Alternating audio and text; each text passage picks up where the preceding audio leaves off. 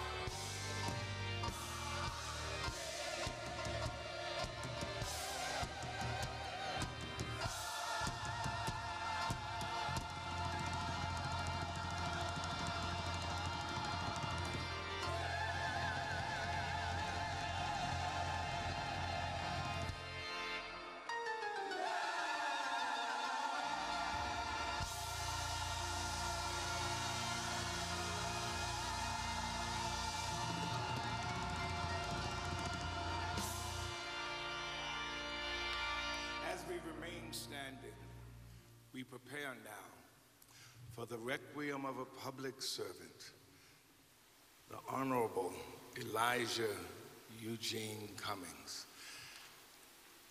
And it shall be done in a few moments after the draping of the coffin by the honor guard.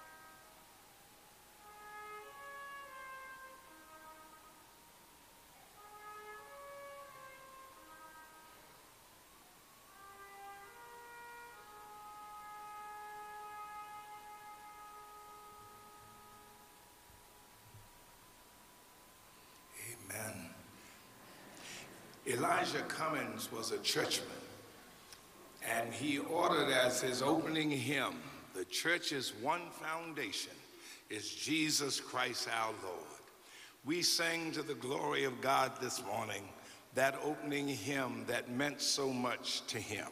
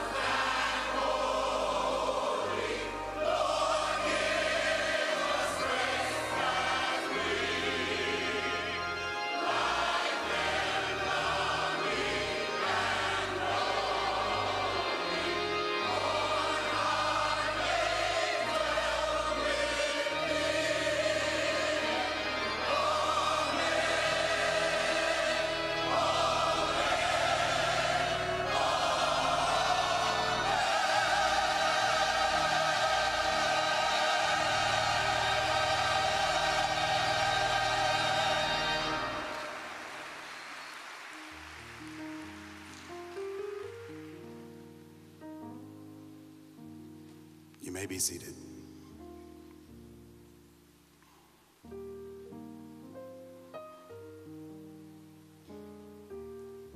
Let us pray.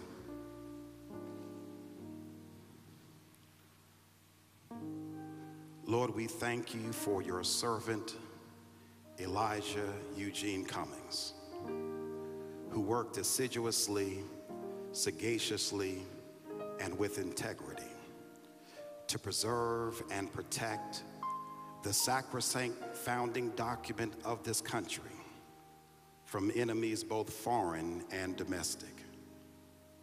Lord, we thank you for one who stayed the same wherever he was, as he ironically embodied Kipling's command to walk with kings, yet not lose the common touch. Father, we praise you for Ruth and Robert Cummings, who raised him in the fear and admonition of the Lord Jesus Christ. Holy Spirit, we bless you that you lived in him, spoke through him, and strengthened him to do the work of kingdom building in the guise of a congressman and committee chair. Father, whereas we come to pay homage to a rose that grew out of concrete, a rock that refused to be overwhelmed by the rising tide of partisan rancor, and an oak that would not yield itself to the gust of intimidation sown by the tempest of corruption, fascism, and racism. Whereas we assemble ourselves today at this hollow time and in this sacred space, not for a public viewing, we already did that. Not to award civic honors and accolades, we already did that. But we gather today for a homegoing celebration.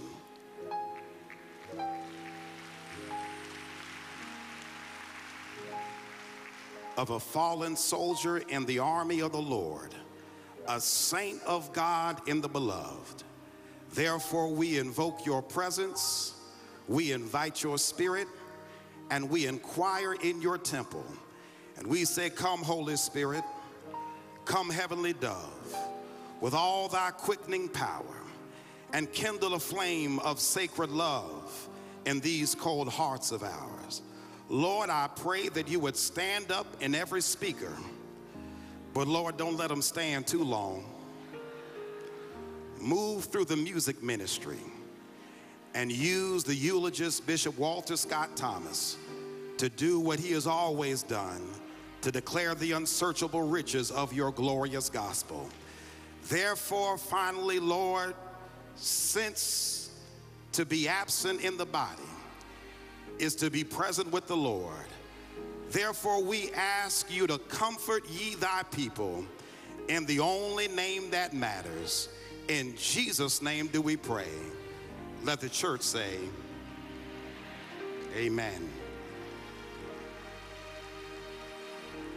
We will now have the Old Testament scripture reading by the Honorable Elizabeth Warren, U.S. Senator, the New Testament reading of the Honorable Marcia Fudge, U.S. Congresswoman.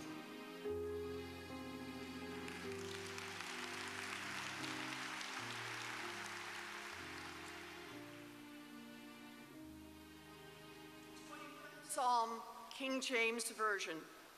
The Lord is my shepherd, I shall not want. He maketh me to lie down in green pastures. He leadeth me beside the still waters. He restoreth my soul. He leadeth me in the paths of righteousness for his name's sake. Yea, though I walk through the valley of the shadow of death, I will fear no evil for thou art with me. Thy rod and thy staff, they comfort me. Thou preparest a table before me in the presence of mine enemies. Thou anointest my head with oil, my cup runneth over. Surely goodness and mercy shall follow me all the days of my life, and I will dwell in the house of the Lord forever. Amen.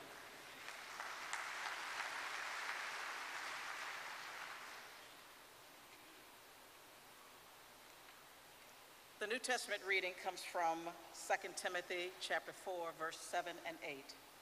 I have fought the good fight. I have finished the course. I have kept the faith.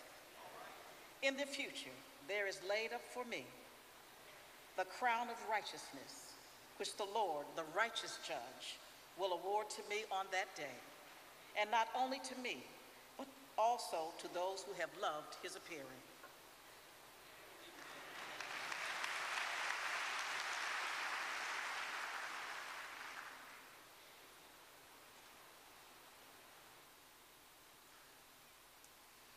Elijah wrote his funeral program and determined who he wanted to do what. Some might be wondering why they're not doing anything. And so I just wanted to give you clarity. But one of the persons he loved to hear sing was BeBe Winans. And he's going to come now and bless us in song.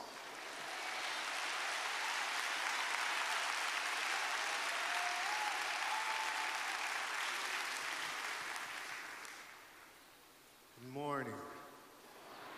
I learned in my personal loss of my brother Ronald and my dad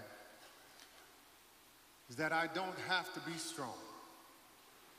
Because I learned that in my weakness, God's strength is made perfect. I said, God's strength is made perfect. And today, we stand on his promise and we stand on his word.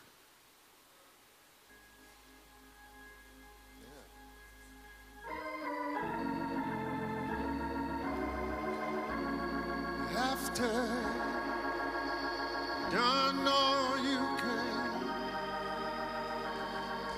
after you done all you can, I feel my help coming after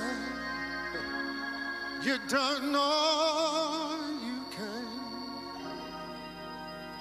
After you've cried and prayed and done all you can. Oh, after you've done all you can. Oh, church, we just stand. Yeah. So tell me what do you do when you've done all you can? Seems like it's never enough. Yeah. Tell me what do you say when your friends turn away and you're alone, so all alone. Tell me what do what do you give when you've can't make it through. Well, you just stand when there's nothing left to do. Stand, watch the Lord see you through. After you've done all you can, you just stand. Oh, tell me how. How do you handle the guilt of your past? Tell me how do you deal with the shame? Tell me how can you smile when your heart has been broken and, and filled with pain? Oh, filled with pain. Tell me what what do you give when you've given your all and it seems like you can't make it through? Well, you just stand when there's nothing left to do. You just stand and watch the Lord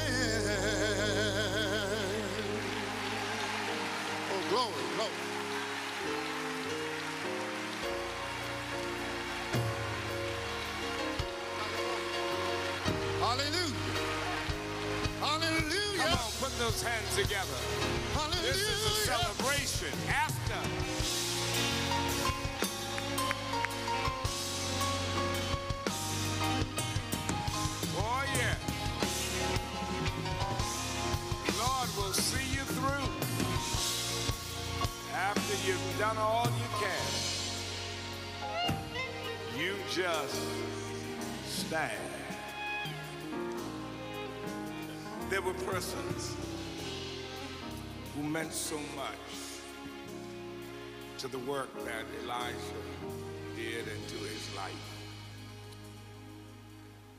He asked that they might share some words at this moment. And I'm going to ask them to come in this order. The Honorable Hillary Rodham Clinton, former Secretary of State.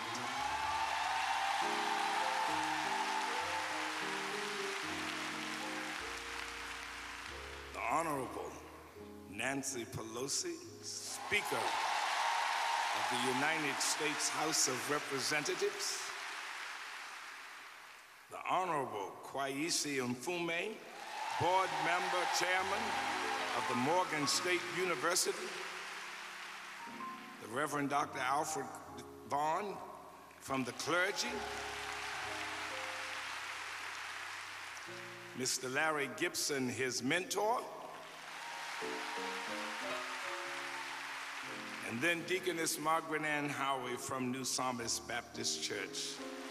Secretary Clinton, won't you give her a hand as she comes?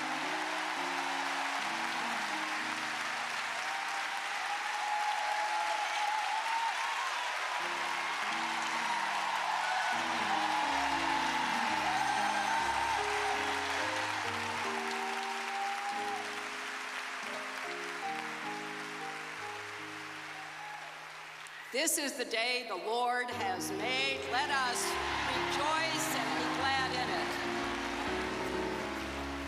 it. Because this is the day for the homegoing celebration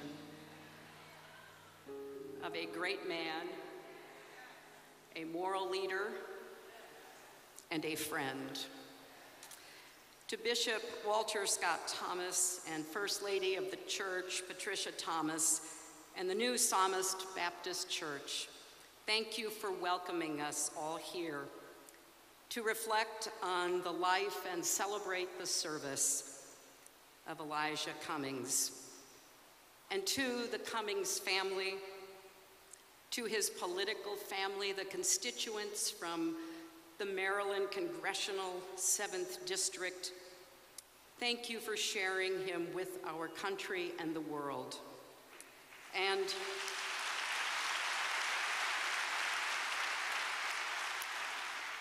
thank you, Maya. As you have said so beautifully, you walked by Elijah's side on this journey. Thank you for your steadfastness, your resilience, and your leadership.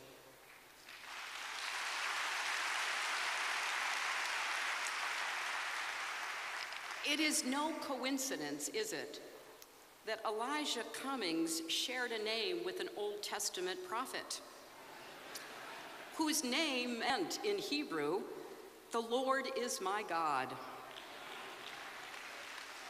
and who used the power and the wisdom that God gave him to uphold the moral law that all people are subject to, and because of all people are equal. Like the prophet, our Elijah could call down fire from heaven.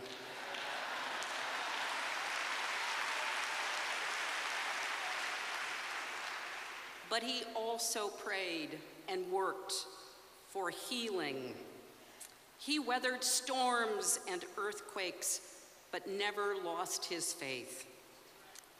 Like that Old Testament prophet, he stood against corrupt leadership of King Ahab and Queen Jezebel.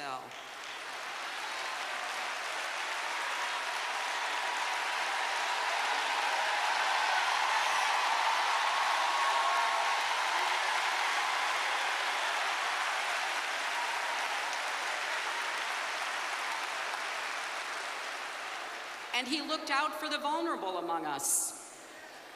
He lifted up the next generation of leaders. He even worked a few miracles. And he kept reminding us life is no dress rehearsal. The American people want to live their lives without fear of their leaders. And as leaders, we have a responsibility to keep the promises made when running for office to make the lives of Americans better. As Elijah said, while we're all on this earth, that's my message. Our Elijah was a fierce champion for truth, justice, and kindness in every part of his life.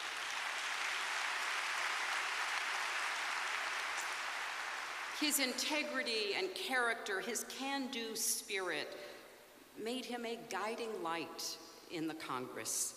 He pushed back against the abuse of power. He was unwavering in his defense of our democracy. He had little tolerance for those who put party ahead of country or partisanship above truth.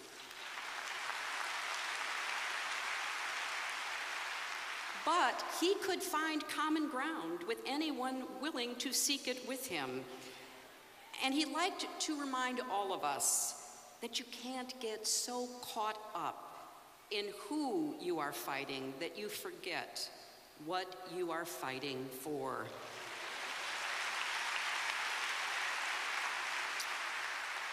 Even his political adversaries recognized that it wasn't really about politics for our Elijah.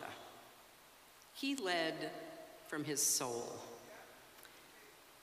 He often said that our children are a message to a future we will never see.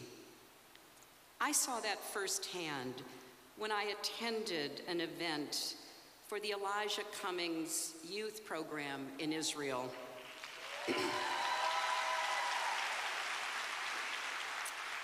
a leadership program for young people in his district. And Elijah didn't just put his name on the program and then forget about it. He interviewed every applicant. He was personally invested in their success. He wanted all of us to see our young people as he memorably asked us to do when he gave the eulogy at the funeral for Freddie Gray. Did you see him? By the time these young people came back from Israel to Baltimore, they had celebrated Shabbat, studied Hebrew, hiked up Masada. They had seen and been seen and made lifelong friends, all because Elijah Cummings knew from his own experiences that it's one thing to learn abstractly about the world, but another to experience it with people different from yourself learning from each other, lifting each other up. You know, Elijah often said his philosophy was simple do something. Go out and do something. no matter how daunting a problem seems, no matter how helpless you feel, surely there is something you can do. I think that remains his challenge to each of us. As he said, even if it seems small, there's usually something you can do if you are looking for it. You can defend the truth. You can defend democracy. You can lift up others.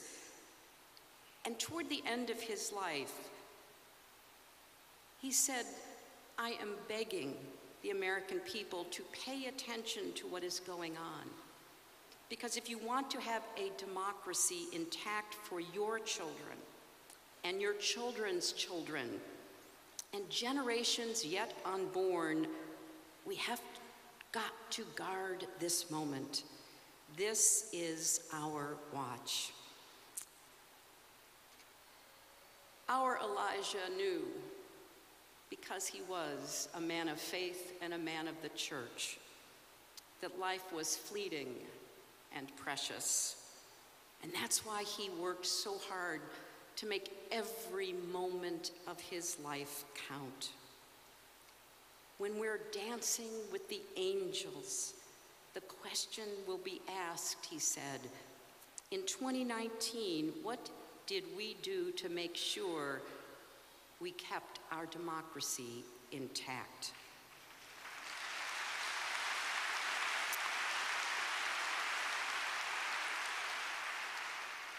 I will end with the paraphrase of a poem that Elijah recited in his very first speech in the Congress. He said that he told himself this poem as many as 20 times a day. I only have a minute, 60 seconds in it. Forced upon me, I did not choose it, but I know that I must use it. Give account if I abuse it, suffer if I lose it. Only a tiny little minute, but eternity is in it. Thank you, Elijah Cummings, for your work, your service, and the lessons you leave us. God bless you.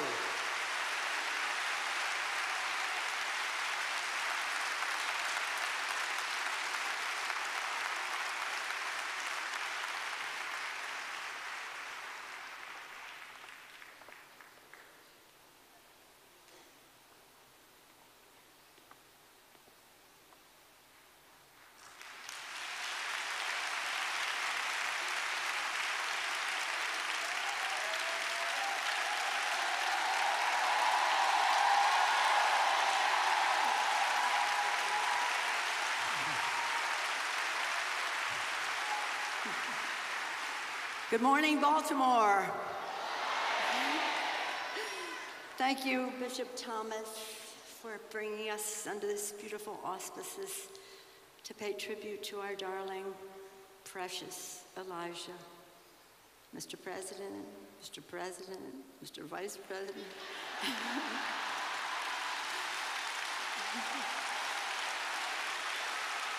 Madam Secretary,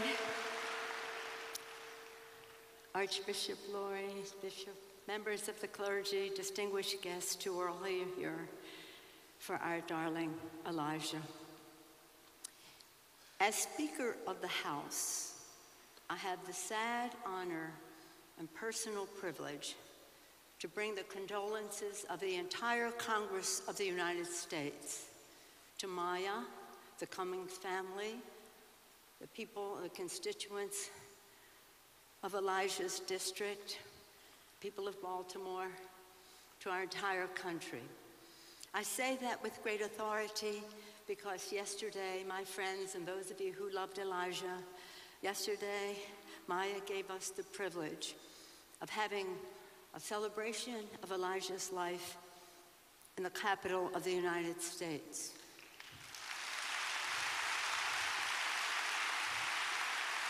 the first African American lawmaker ever to serve in repose, lie in repose in the capital of the United States.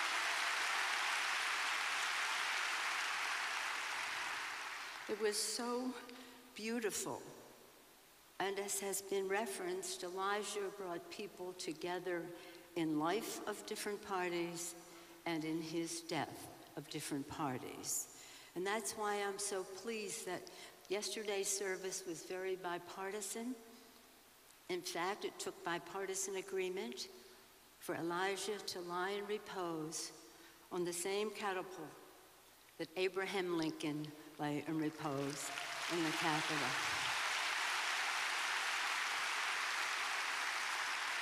And so today we have a very strong bipartisan of Elijah's colleagues from the House of Representatives, led by our chair of the Black Caucus, Karen Bass, our leader, Steny Hoyer, John Lewis, Marcia, who got the nod, and I'm happy to get it as well, and so many of our members of the House in a bipartisan fashion. Please rise to be recognized. And their families and their staff, Elijah's staff. John Lewis, where are you, John Lewis?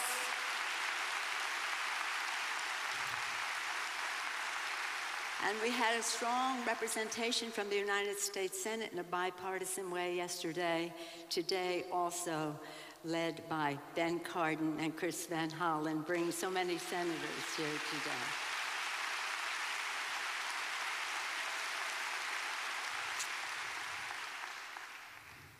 Bishop Thomas, how brilliant was it of Elijah's parents to name him Elijah?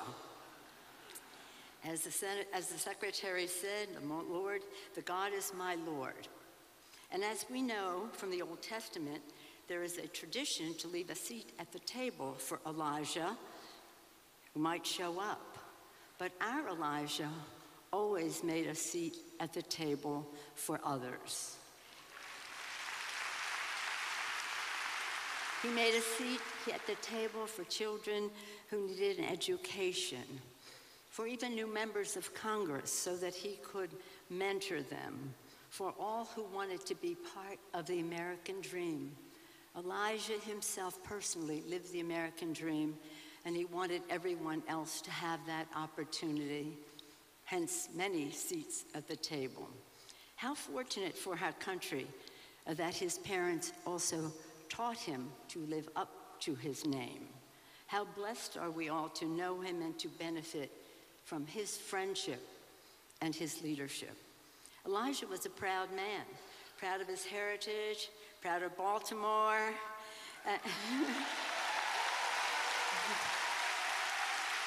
and proud of America. He always appealed to our better angels and to the promise of America, uh, calling us to live up to our principles and for a higher purpose. As he said, and this is so all the words that we will use that are the best words are words that Elijah used was he was when we were not meeting the needs of children in our country he said we are better than this. He held himself to a high standard and that is why i've called him the north star of congress our guiding light Thank you, Maya, for giving me this opportunity to speak at the Baltimore celebration as well as yesterday of Elijah's life. Previously, I've seen some of you over time speaking as Speaker of the House before at St. James Episcopal Church to speak at the funeral service for Congressman Parren Mitchell, a sad and proud day for the Baltimore community and our country that day. Paying tribute to Parren was both an official and a personal honor. My D'Alessandro family and the Mitchell family have been friends for generations. Now it is my great honor and personal sadness to join you at the New Psalmist Baptist Church, Elijah's Church, to celebrate Elijah's life. As I said yesterday, members of Congress said goodbye to Elijah Maya gave us the honor again of holding that official service in the statuary hall of the House. At that time, I said this was appropriate because Elijah was master of the house. Master of the house. In his chairmanship of the Committee on Oversight and Reform, he lived up to his responsibilities to hold the federal government accountable to the laws of the land. One word I would use to describe Elijah over and over again is the word future. He was there to make the future for our children, whom he called, as has been said, our living messengers to a future we will never see. But he wanted for those children to have a future worthy of their aspirations. And he wanted them to have a future built on our values, continue to be built on our values. And as a master of the house, he was also the mentor of the house.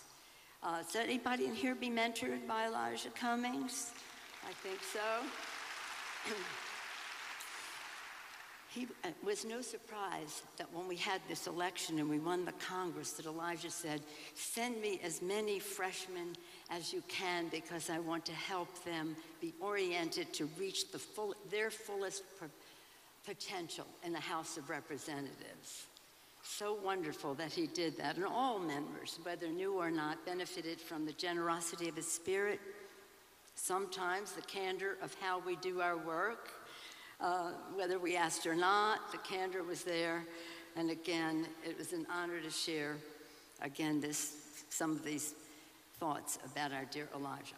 Elijah loved Baltimore and his district. He was my Baltimore brother in Congress. We had our chats about Baltimore all the time. He loved and respected his constituents.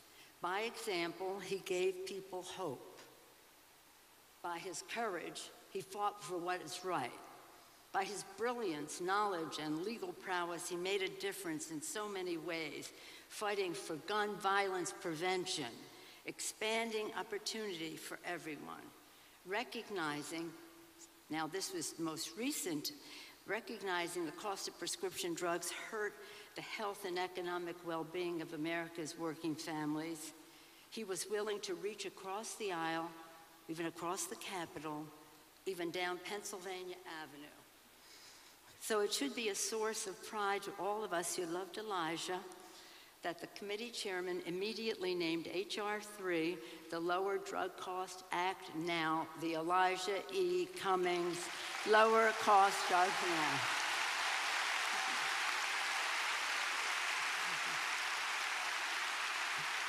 Uh, Baltimore, our Baltimore connection gave me special entree into the thinking, uh, Elijah's thinking, which helped me as speaker. Our love of the Orioles and the Ravens made it fun. Thank you, Baltimore, for your contribution to the greatness of the United States of America. When I spoke on Wednesday at my brother Tommy D'Alessandro's service, I acknowledged that we would be honoring Elijah today.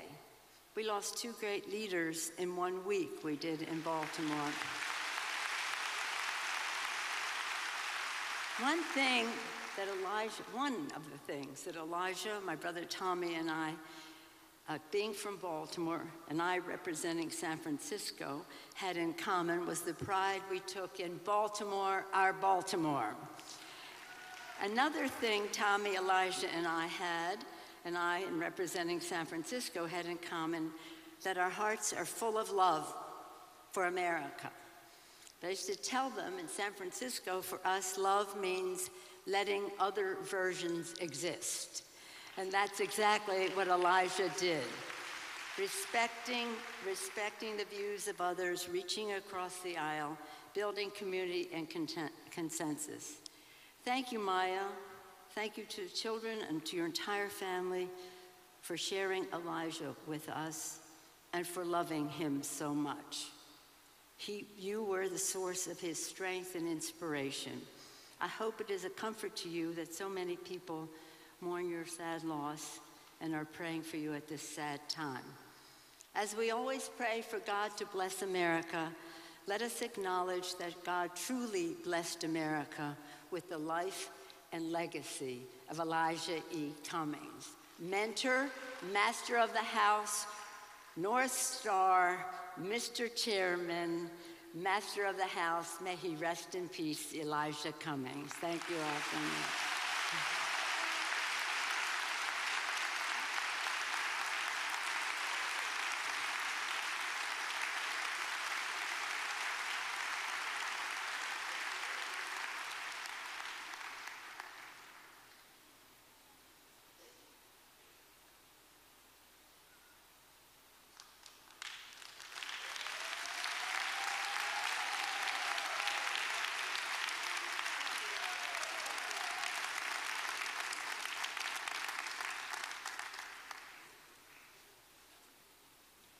Morning.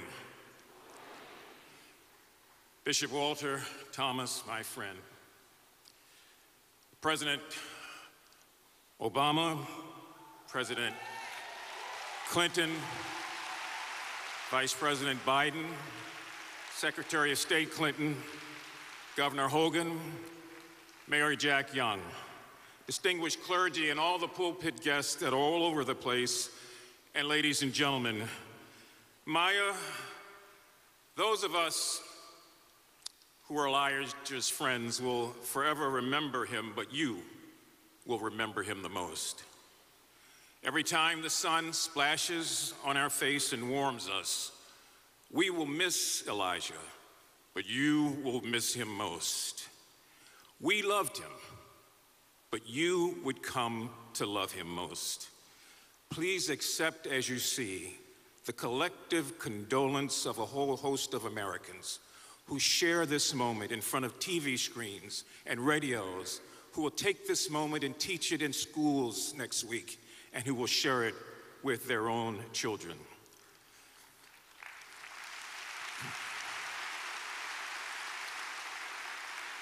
Our prayers go out to his siblings, to his children, to all those who were related to Elijah. You know, he said to me, Now, if you go before I go, don't get up there and wing it, Kweisi. he said, Write it down. And then he said, No, I mean, really write it down. so here we are. Whose woods are these? I think I know. His house is in the village, though. He will not see me stopping here to watch his woods filled with snow.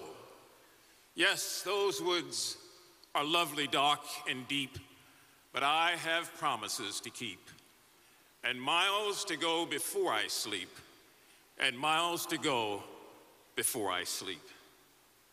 You would think that the words of Robert Frost were almost written as if he knew that Elijah would one day be among us with his indefatigable spirit and his energy and everything he did, and how he actually lived his life as if he did have miles to go before he would decide to sleep.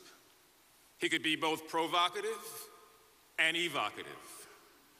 He found a way to capture our will to dare to be different in communities all over the country and then challenged us to dare to make a difference.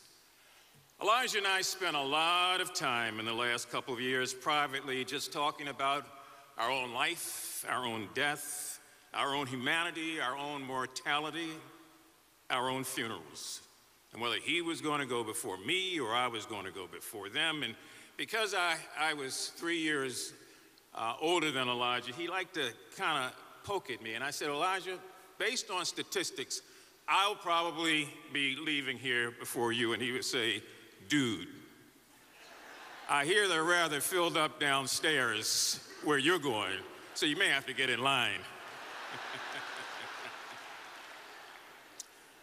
Sometimes out of the blue, he'd call me, st- sticking it to me. So, Kweisi, um, what's it like now that you turned 40? Of course, Elijah was 37. Well, what's it like when you turn 60? Of course, he was 57. We used to call each other unannounced sometimes on birthdays just to say birthday, but we didn't do it with regularity because we wanted it to be different and a surprise. And, and I would get those calls and enjoyed every one of them. Surprised, you know, if he's going to call this year or four years later. And, and he would. And yesterday was my birthday, and I did not hear from my friend. I met Elijah in the spring of 1979. I was a young talk show host and had launched a campaign to run for city council. Elijah was a young lawyer and precinct marshal working with the Democratic Club headed by Senator Clarence Mitchell III and Mike Mitchell and delegate and soon to be State Senator Larry Young and John Jeffries and Delegate Lena K. Lee. The political godfather and mentor to both Elijah and myself was, as you heard Nancy speak earlier, about the revered Congressman Parren J. Mitchell. It was both It was both the Mitchell family and the Carl Murphy family of the Afro American newspaper that really moved our communities along. They organized, they directed us on politics, on inclusion, how to fight for rights, both civil and political. And so Elijah sat at Parren's feet, and I sat at his feet. And we listened and we learned, and we began to get involved, going all the way back to the campaign of Hubert Humphrey, when neither of us knew what we were doing except passing out bumper stickers that said, Vote for Humphrey. Elijah was being brought along and tutored, as I said, by the Mitchell Club. I was being brought along and tutored by the late State Senator Verda Welcome, who was the first black woman in America ever to be elected to a state senate. So, despite those organizational allegiances, Elijah and I became political buddies right away. We were both eager to just find a way to strike out and to change the system that had maintained discriminatory practices in housing and in education and in employment and health care as it worked to deny political power. He was attracted to my grassroots campaign in 79 to run for the city council with no money at all. And I knew, and he knew, even though he didn't say it and we didn't discuss it at that time, that one day Elijah, in the not too distant future, would be running for himself. I would go on later that year to get elected to the city council, winning by three votes. And Elijah, who had met my grandmother, thought it was funny. They came to me and said, Now, Clacy, as long as you are black, which meant the rest of my life, you just remember those three votes were the Father, the Son, and the Holy Ghost, and you can't go wrong.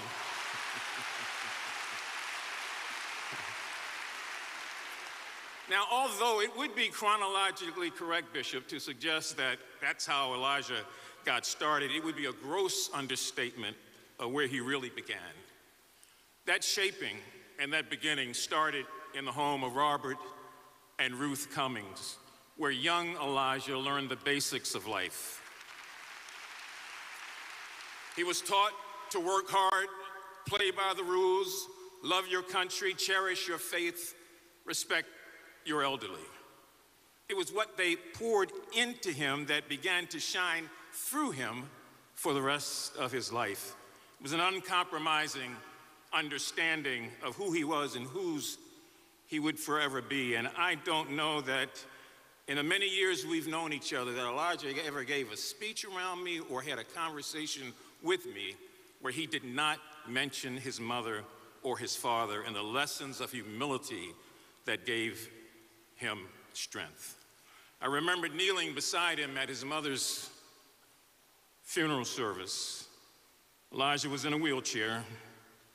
I kneeled down and touched the back of his hand, and he gripped my hand as he was gripping also on the edge of that wheelchair, just a few feet from his mother's coffin.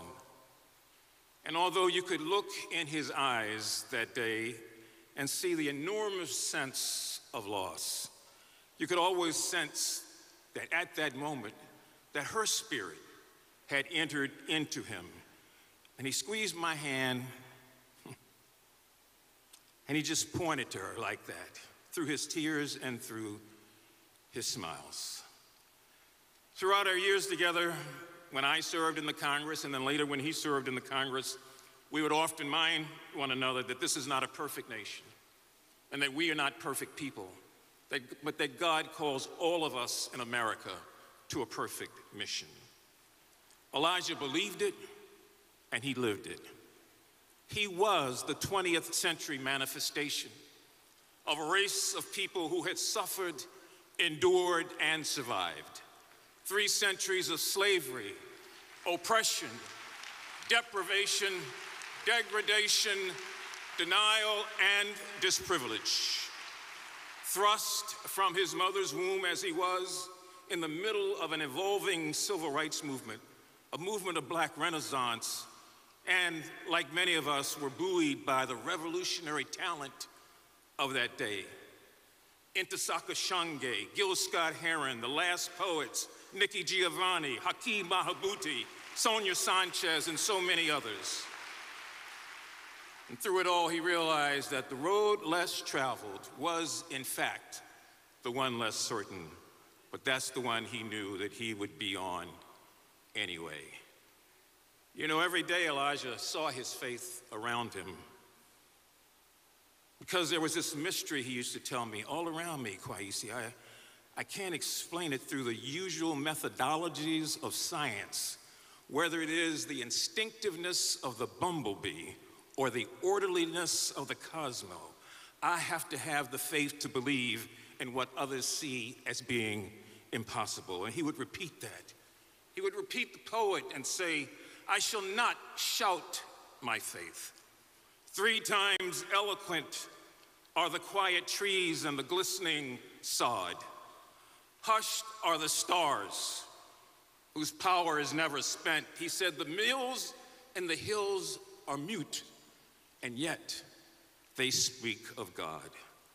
And so I believe and I respectfully and submit to you that we use this occasion, this passage, to another place, to recommit ourselves to sharing Elijah's dream. It was also the dream of Martin Luther King and Fannie Lou Hamer, the dream of Du Bois and Washington and Tubman and Douglass, the dream of all those nameless and faceless sharecroppers of his father's generation who laid their bodies down on plantations all over this country so that young Elijahs could run across them and get to the promised land. They couldn't always speak the King's English. They didn't have college degrees.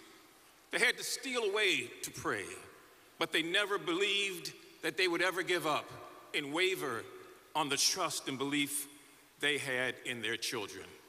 They grew up, they became leaders, and they are who we celebrate.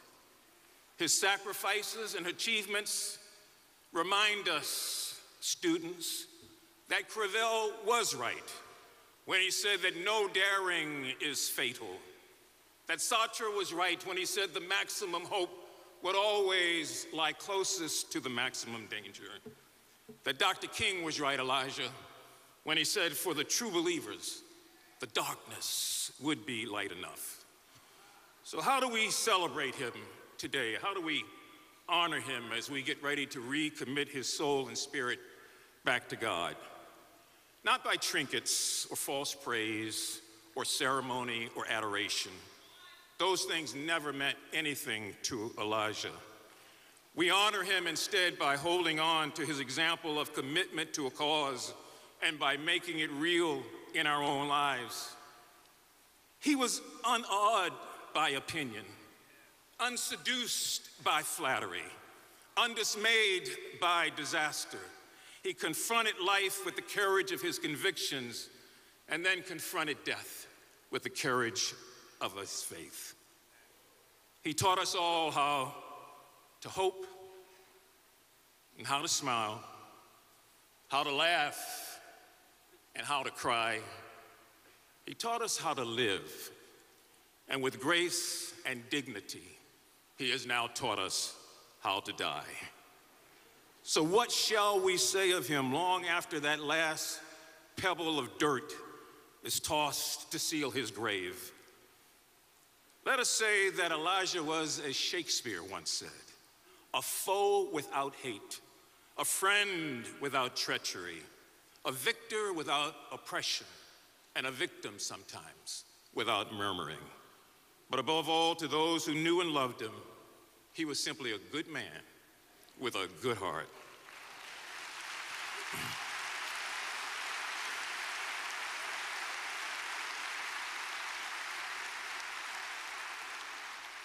One final thing.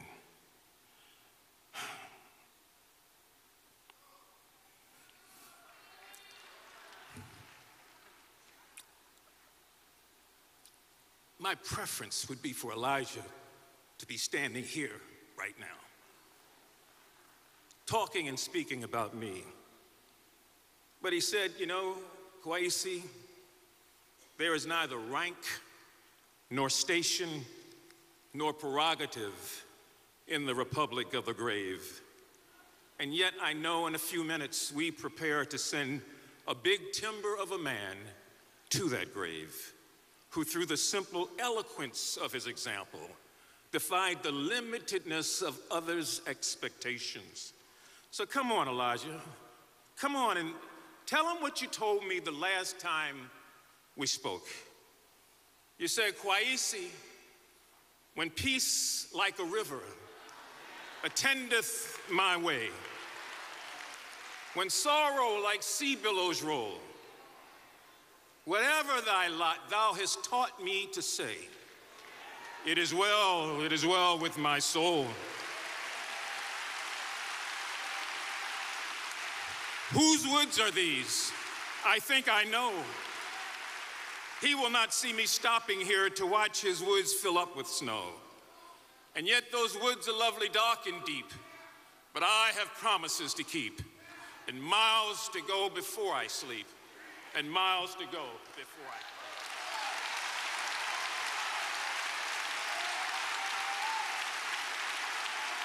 Won't you give our, our former congressman a tremendous hand?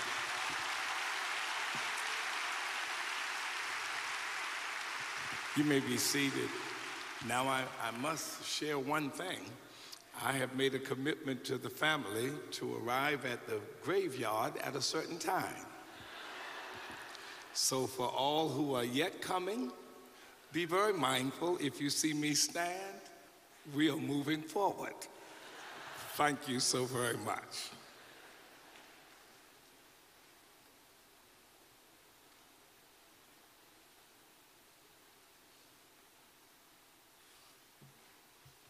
Lord is good and is worthy of all of our praise. We come today to honor one of the greatest soldiers of Christ that has ever lived. Elijah was not only in the halls of Congress, but he was also a real Christian. It was nothing to have him show up in worship. And like his mother and father before him, he was a worshiper. He served the Lord with gladness. And so we come today to celebrate his life and to say to him, Thank you for everything that you've done, particularly for the oppressed and the underprivileged. We said to him, Bon voyage, we'll see you in the morning.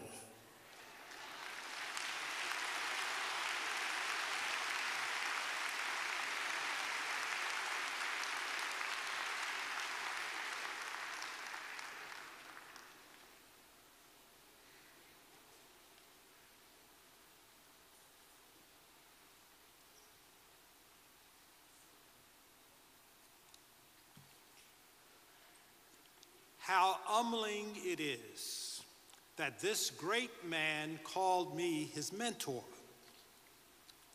Elijah Cummings and I first met 50 years ago.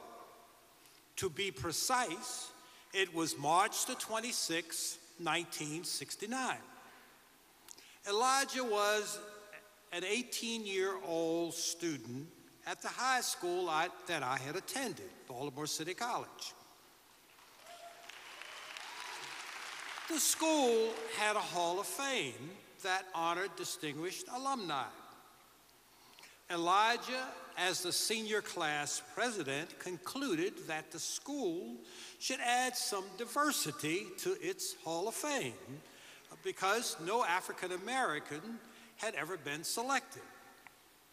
Now, they explained to Elijah that the Hall of Fame honored graduates who had distinguished themselves in long careers. The average age of the inductees was about 60 years old. But Elijah persisted. He argued that the selection criteria should be changed because the school had excluded black students up until Brown versus Board of Education and that it would take decades before there were any African American alumni in their 60s. Well, Elijah's relentless advocacy prevailed. And I became the beneficiary. And and I was selected to the school's Hall of Fame. Now, I was 27 years old. And my only claim to fame was that Speaker Pelosi's brother, Mayor Tommy D'Alesandro III, had appointed me to the Baltimore School Board. I first met Elijah at the Hall of Fame induction ceremony. I still have the printed program. Here it is. It is dated March the 26th, 1969. Elijah on the program is listed as the president of the class, a member of the Hall of Fame Selection Committee, and the Assembly Chairman.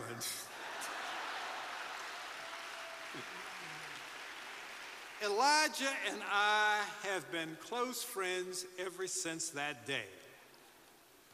After high school, Elijah's steps were like mine. He went to Howard University and was president of the student government. Then he came to the University of Maryland School of Law, where I was teaching.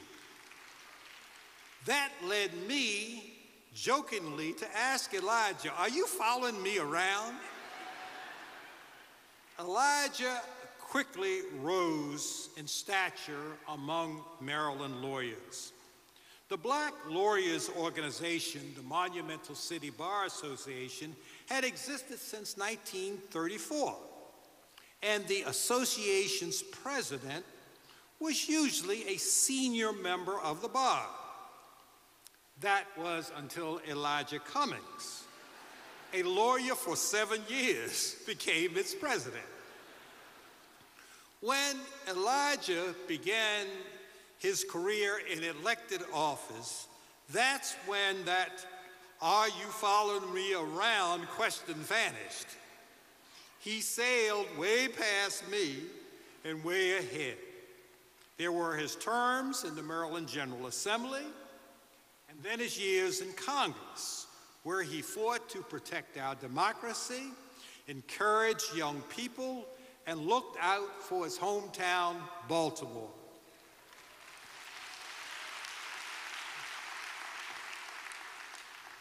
In Elijah's last political campaign, even though he was on the ballot only in the 7th Congressional District, he purchased 22,500 lawn signs and had them posted in every Maryland county. His name was not on any of the signs.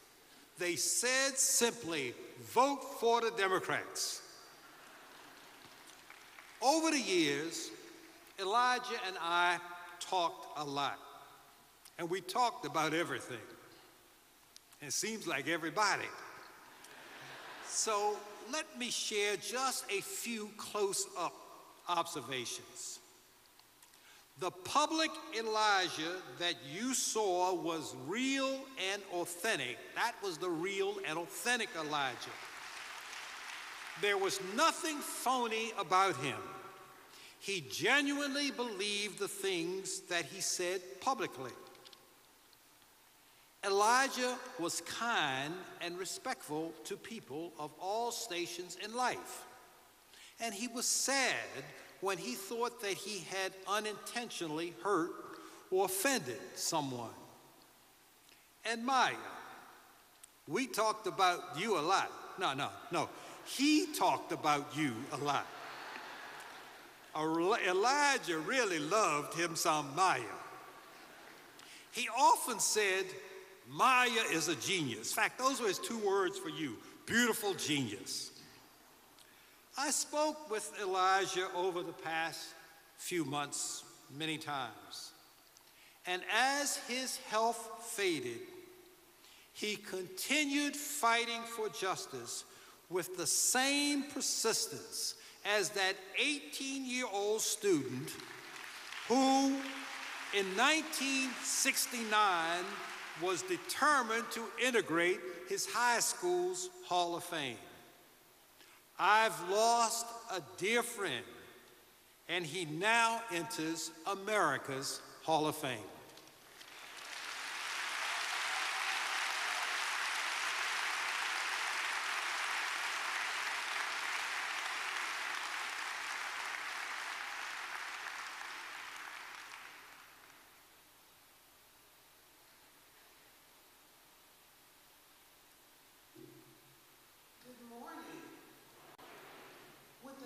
Members of the new Psalmist Baptist Church, located at 6020 Marion Drive in Baltimore, 21215. Please stand.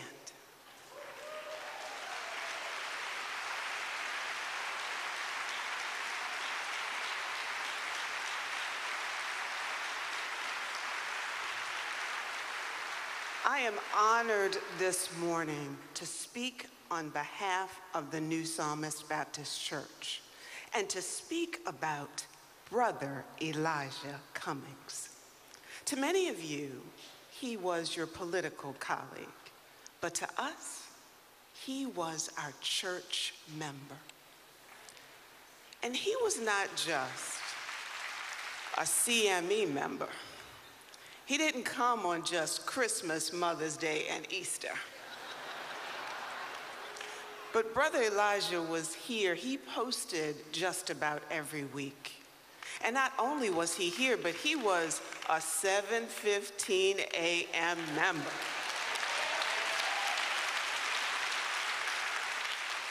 And Sister Maya, you know you have to have good religion to come to church every week at 7:15 a.m. But Brother Elijah loved worship and he loved this church. And you know, folks who love church invite their friends, invite their family members. And Brother Elijah was no different. So it's no surprise that in 1998, he invited President Clinton to come to church with him.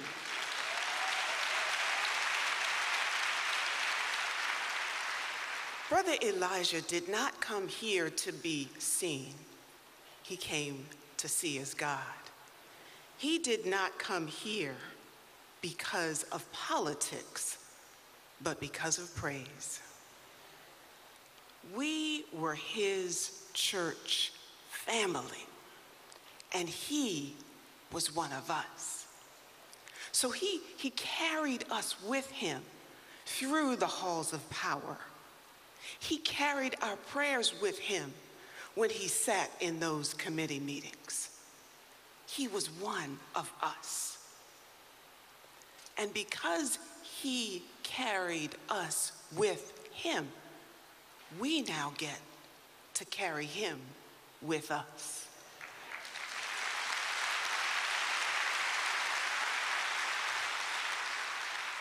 Brother Elijah's spiritual DNA is now a part of our church family tree.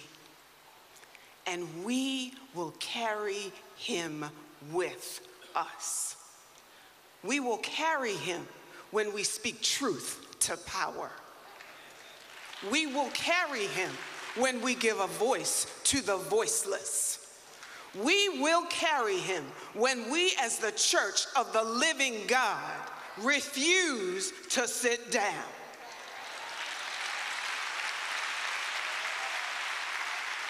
Because the church, like Brother Elijah Cummings, does not yield.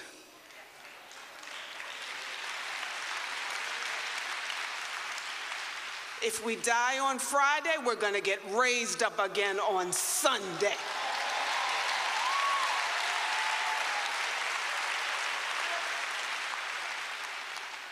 Farewell, Brother Elijah. We will miss you. We know you are dancing with the angels and with young Tommy. And we look forward to seeing you in the morning when our work is done. God bless you.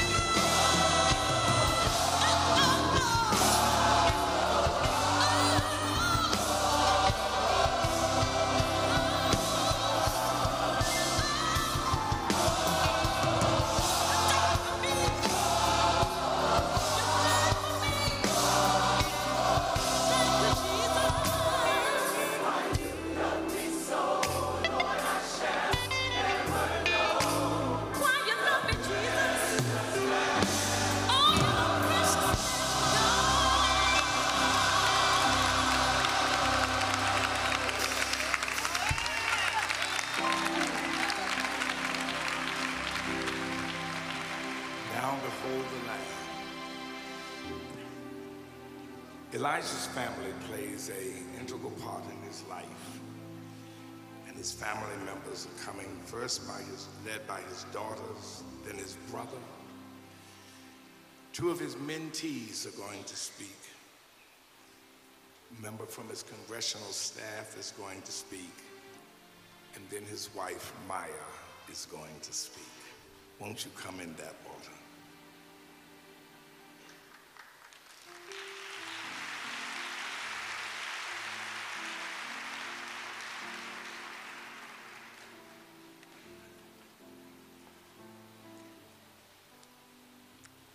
Knew this day would come, but I never thought it would be so soon. My dad and I had a special bond, one that spanned the 37 years of my life and the 37 years of his life of public service. Our connection was and remains one of heart, spirit, and soul. It is almost impossible to put that connection into words, but I am deeply grateful for it. And today, I just want to say thank you, Daddy. So I've written you a letter, Dad, to express my gratitude to you for a lifetime of lessons, memories, and blessings. Recently, you said my handwriting was getting too small, so like in recent times, I would like to read this note of thanks to you aloud. Except today, Daddy, all these people have gathered to celebrate your life, so it's not just you and me.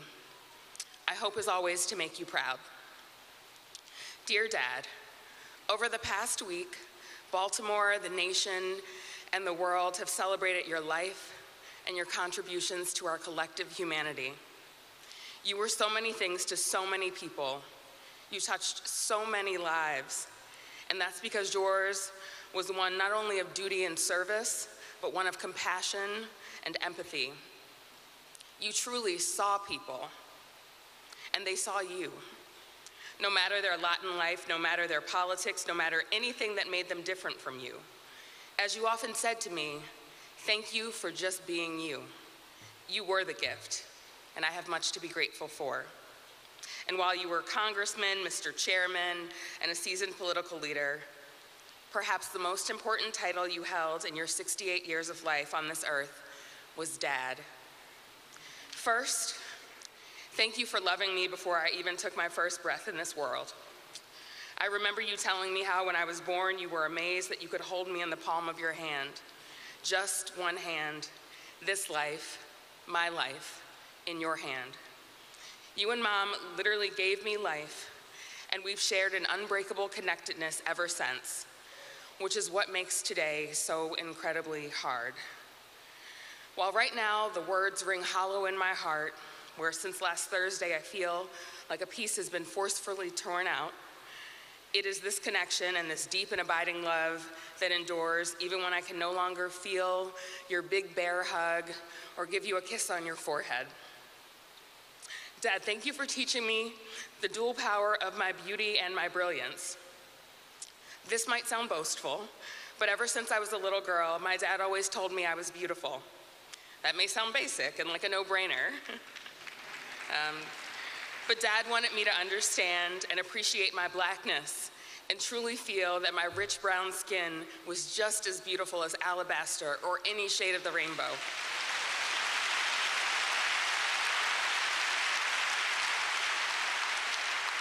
He insisted on buying me brown dolls that looked like me so that I could truly appreciate myself and what made me different, from the width of my nose to the fullness of my lips and to the coarseness of my hair.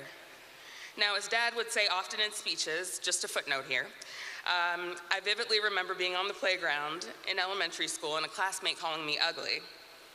To which I retorted, Well, my daddy says I'm beautiful.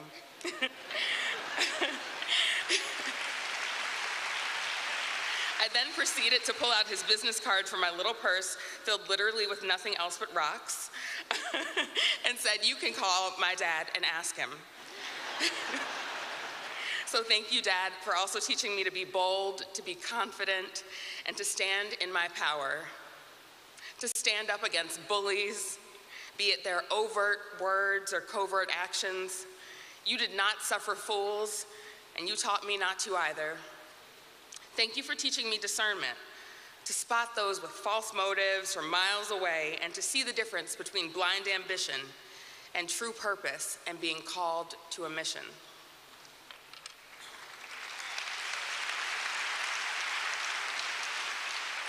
Thanks for teaching me what leadership by example means by exhibiting it. And just to circle back on Blackness and Brilliance, Daddy, thank you for encouraging Adia and me to attend Howard University, your alma mater. You once quipped in a speech at Howard's Chapel the year before I enrolled that no matter where I decided to go to college, your tuition checks would be going to Howard. Thank you for investing in my education well before and through Howard. Thank you for teaching me to persevere. I remember when we took the training wheels off my bike when I was maybe six or so, and I went careening down the steep sloped alleyway behind the house and fell.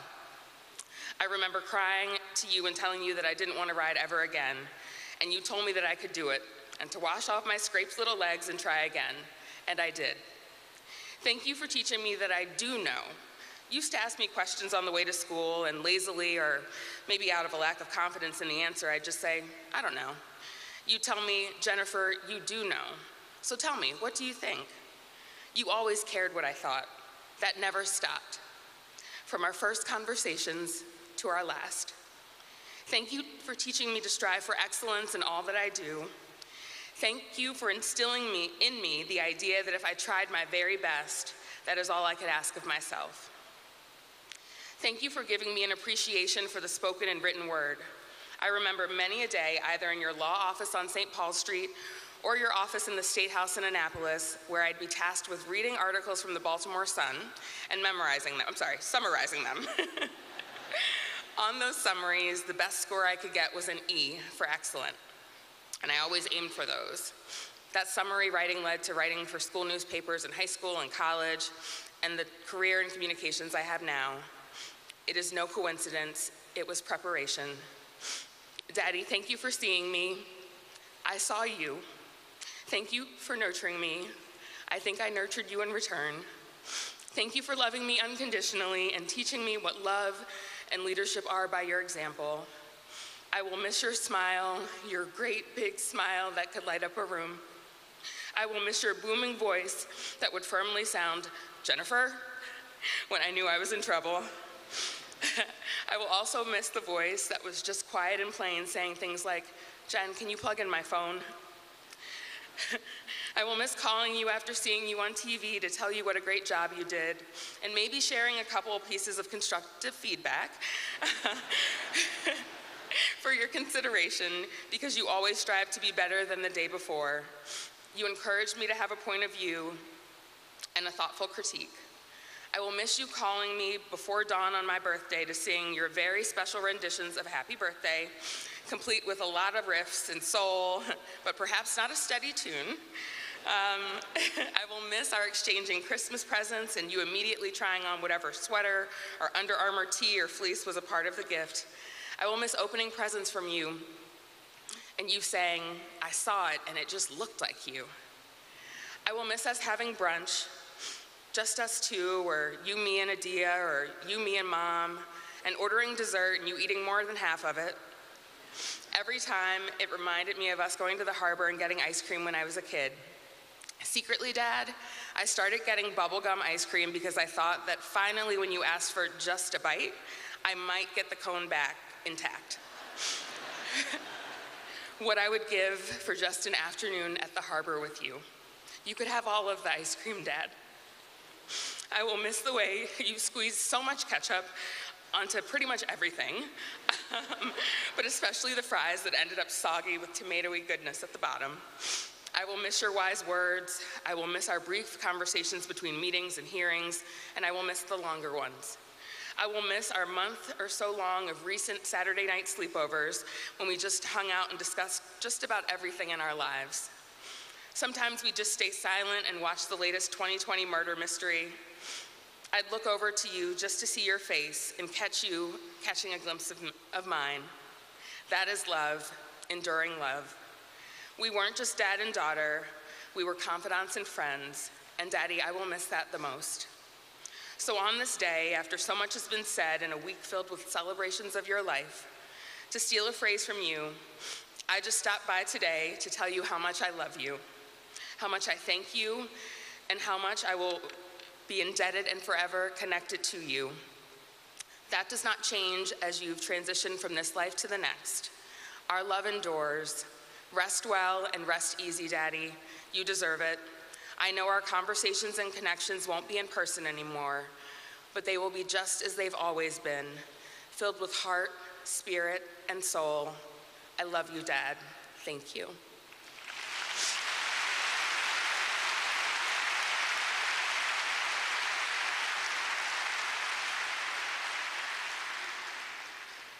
Morning, everyone. Um, you'll have to forgive me, I'm reading off of my phone. I am a millennial, after all. Um, so, I want to thank everyone um, for being here. It means the world to my family to know what uh, our father, uh, brother, uncle, son meant to his community and his colleagues and the people he worked with. And um, I have to say to his staff, can you please stand up to my dad's staff if you're here?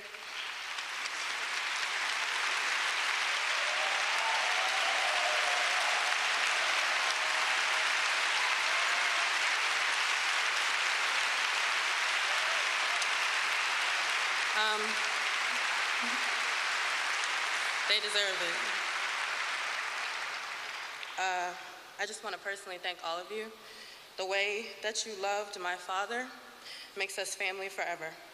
And I'm so sorry that you lost someone who was so much more than a boss to you. So, I'm confident that everyone in this room today knows exactly the type of man my father was. If you didn't, you wouldn't be here. He was a passionate leader, a dependable friend, and an unrelenting voice for change. His passion for his city, his state, and his country was evident in his practices and his policies. Many of his colleagues have spoken over the past week and today about what an honor and a privilege it was to serve with him.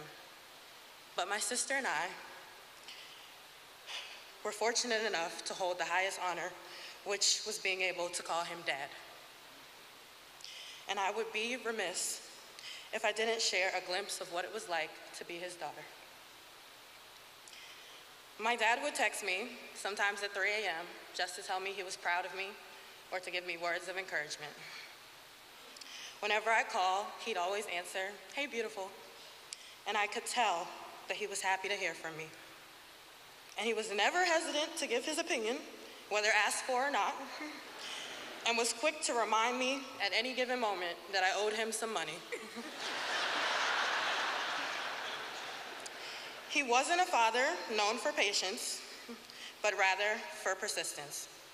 When I was getting ready to take my driving test, he made me parallel park what felt like 50 times in a row until I got it down to a science and I could not do it wrong. and that was a very long day, but I passed my test on the first try. he always held me accountable and made sure that if I said I was going to do something, that I did it, and always encouraged me to be more giving. He instilled in me the same principles that my grandparents instilled in him integrity, service, and humility. I could come to him with anything, ask him for anything, even Cardi B tickets. He didn't really know who she was, but he went out of his way, even from his sick bed, to make sure that I could go see her. He believed in me, believed in my dreams as if they were already realities. He was never afraid to invest time, knowledge, wisdom, and money into anything that I aspired to be. He was genuinely invested and committed to my happiness and well being at all times. Last year, I gave him a card for Father's Day that said, A parent's job is to see their child the way God sees them, and you do that for me. And I would encourage all the parents here and watching to see their children the way my dad saw me, the way God sees me, without limitations, not bound by obstacles or circumstances, and with the power to determine my own destiny.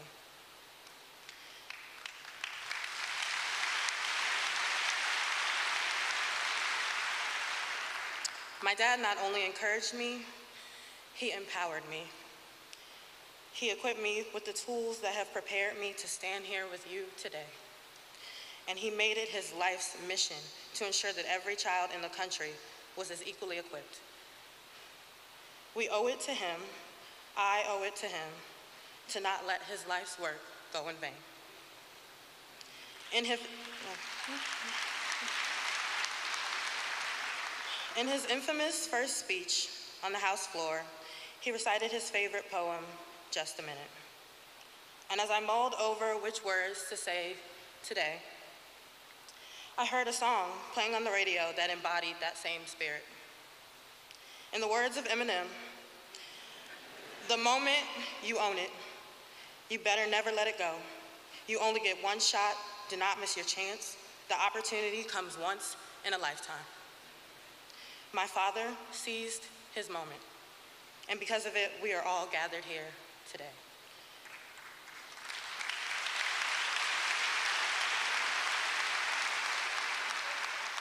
And to all of you, when the time comes, I hope that you seize yours as well.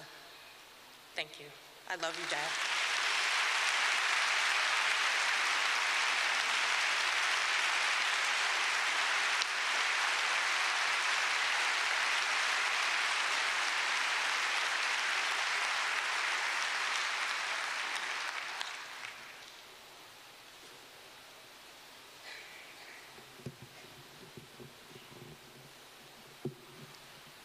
God is good. I come before you this morning with a very heavy heart. Elijah was my older brother by three years. And uh, I can tell you now that At times it was easy, other times it wasn't. I followed him into middle school, and the teachers expected so much of me. Mr. Lynott, the seventh grade social studies school, first thing he said, Oh, you're Elijah Cummings' brother? I said, Yes, sir. He said, Well, I expect great things from you. When it came time to pick our high schools, as most of you know, Bobby, Elijah went to Baltimore City College. By the way, I call him Bobby, the family calls him Bobby. Uh, people have asked me, about 100 people have asked me over the last week why we call him that. And it's because his godmother didn't like the name Elijah. So, so if you don't mind, I'll refer to him as Bobby from now on. That's, that's what we call, I've called him for the last 64 years. The day came when I had to select a high school to go to. And of course, he wanted me to go to City. He said, uh, he said, Al, okay, let me explain that one. my name is James, my middle name is Alfred, but they call me Al for short. Okay. He said, Al, you really should go to City. It's an all boys school, so you have no distractions. Yeah. So I said, uh, I said, Bobby, I love distractions.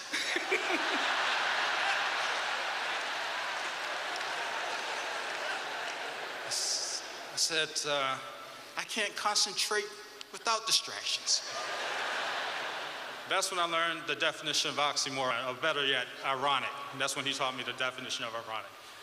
But he was a, great brother. Uh, we're going to miss him dearly. I want to thank the city of Baltimore. I want to thank Speaker Pelosi uh, for the service yesterday, all the comments that were made. I mean, it was a beautiful service. I'm going to miss him dearly. And uh, the last thing I want to say is that when I was leaving his home yesterday, after returning back from Washington, I was getting in my car, and there was a gentleman on the sitting on the steps, and he uh, he asked me, "Where are you coming from?" I told him from my brother's house, Elijah Cummings, and he was so apologetic. He said, "I am so sorry. I'm I'm I'm, I'm so sorry." He just felt really bad. He just wanted to give me a hug. So. Uh, he said, uh, You know, I'll do anything you need me to do. He said, I'll cut your grass.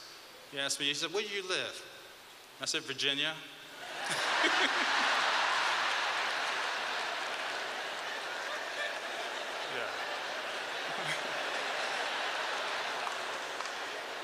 He said, Well, he, he, he thought for a second or two and he said, Well, that might be a problem. But he did tell me that he was going to meet me out there today, today again. Uh, he had something for me. I'm not sure if I'll be able to meet with him or not. But that was, I thought that was the nicest thing because he's the type of person. He was the type of person that Elijah loved. Elijah wasn't the type of person who would look up to people and want to be so high. He wanted to be in a position where he could help those people who, who couldn't help themselves. And so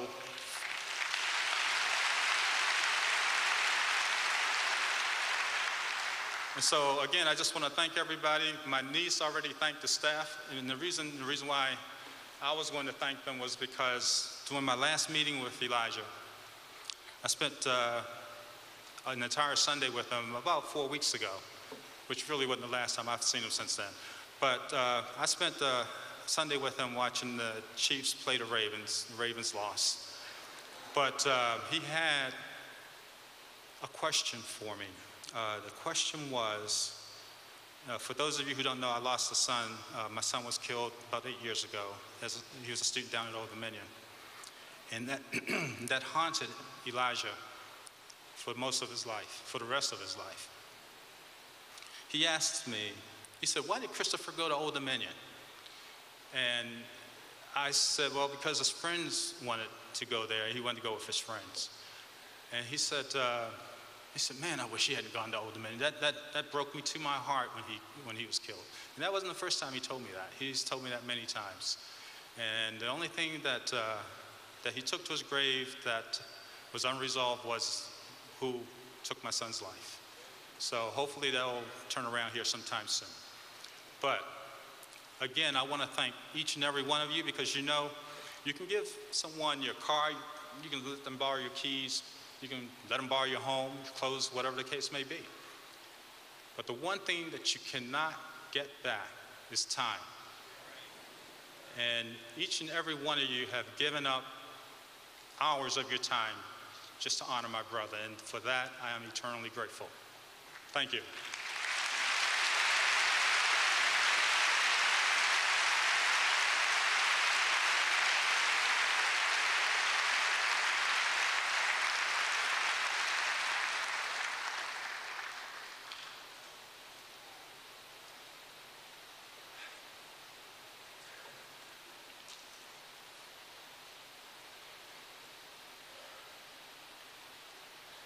Morning, everybody.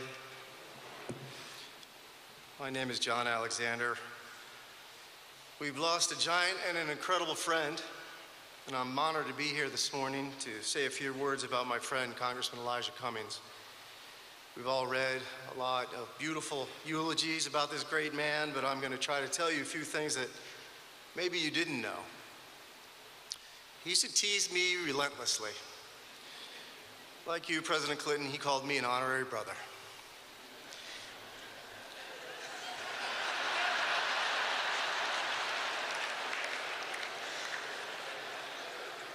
I met Congressman Cummings in 1996. I was lucky enough to be on his first legislative staff. And for the next 23 years, we developed a very close personal relationship. We met almost weekly for lunch to discuss family, politics, books, life, even the Ravens and the Orioles. One day, Mr. Cummings was late for votes. And this is in the infancy of cell phones, and I couldn't reach him. Later in the day, one of my colleagues came up to me and said, Hey, I saw your boss changing a tire on Route 95. What, excuse me? No, your boss was on 95 changing somebody's tire. I saw him by the side of the road. He never said a word to me while he, while he was late, and that's just the way he was. Mr. Cummings always said 80% of life is showing up. All of you had somewhere else to be today, but you're here. My, I try to teach that to my son, who's 16, who's here today. Took him out of school. I think that's an excused absence.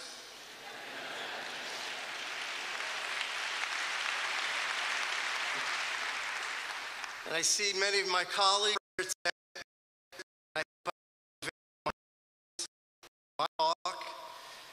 as well.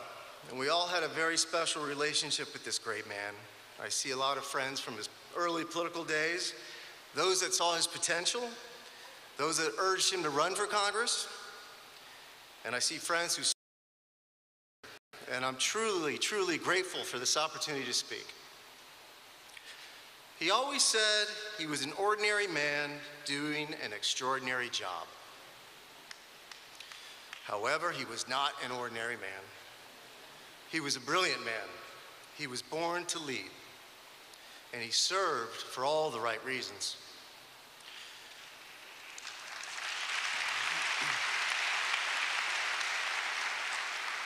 He was a gifted orator. He could make audiences shout with enthusiasm and cry at the same time. He was a voice of moral leadership. He had a wonderful sense of humor. He had an infectious laugh. You couldn't help but laugh with him once he started laughing. He was a humble man. He never professed to know it all. He was always learning, always studying, always asking questions. He genuinely cared about people and his staff. About 20 years ago, I was unhappy in a job. I was almost between jobs, and I called Congressman Cummings and I wanted some advice. I was about to quit my job, and I'll never forget the words he said to me that day I won't let you fall. I won't let you fall.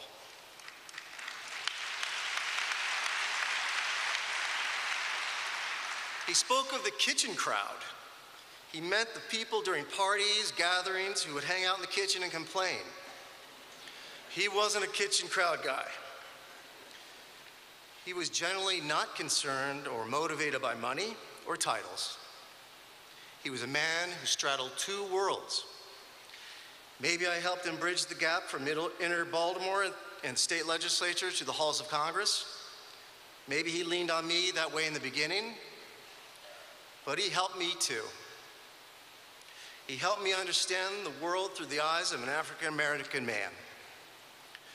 He taught me lifelong lessons on compassion, humility, love, family, and God. I will miss his fatherly advice. I will miss his brotherly love. I will miss his wisdom and compassion. When my father died, he attended the funeral.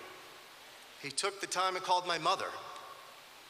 And when I was struggling with the death of my father, he spoke to me about a musical he loved, one of which I saw with him for the first time The Lion King.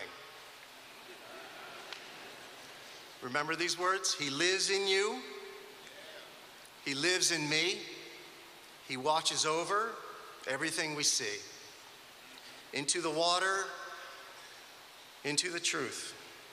In your reflection, He lives in you. And if I have a message to everyone today when you leave this beautiful church, when we face the challenges and temptations of everyday life, think, do I want to be part of the kitchen crowd? What would Congressman Cummings do in this situation? So please honor the memory of this good man. Open the door for someone. Carry someone's groceries. Shovel your neighbor's walk. Be a mentor to a young person. Maybe stop and change somebody's tire. Thank you.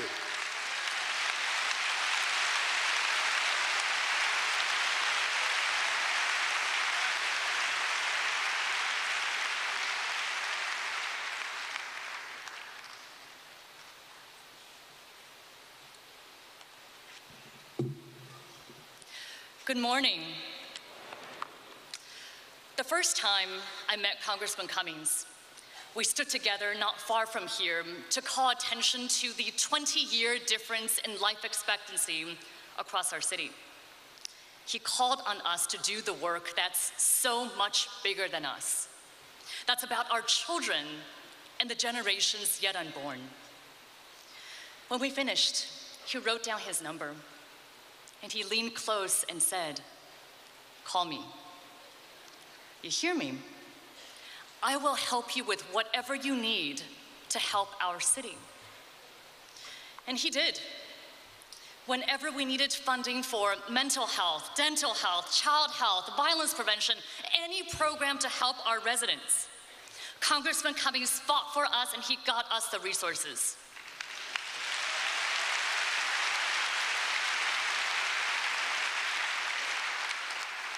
He told everyone how we in Baltimore are effective and efficient.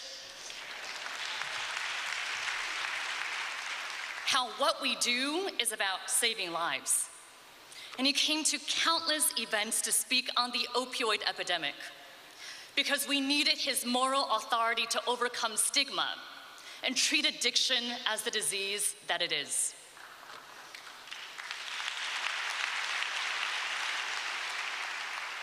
And every time he would speak to every member of my team to say thank you.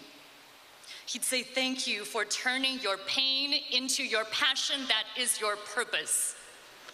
And he told them, as I heard him tell his staff, whom he loved so much, and the young people that he mentored, he would say, I want you to replace me someday.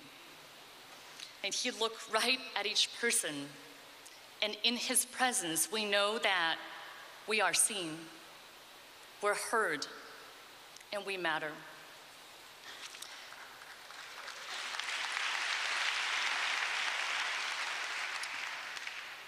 When I suffered a personal tragedy, a miscarriage, he wrote to me to say that he and Maya were there for me. When I went through other challenging times, he'd remind me that for every season, there's a reason.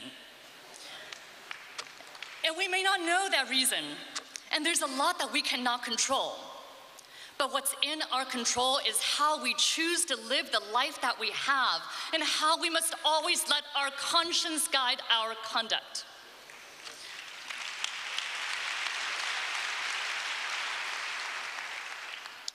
When I eventually had my baby, he quoted the poet Carl Sandburg that a baby is God's opinion that life should go on. And he thanked me for helping God to deliver this powerful message. And when I told Congressman Cummings that my husband and I decided to name that baby, our son, after him,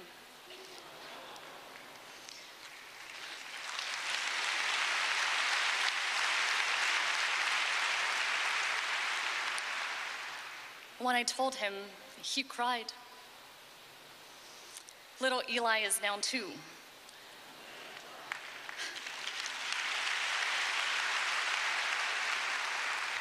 And one day expecting his baby sister in a few months.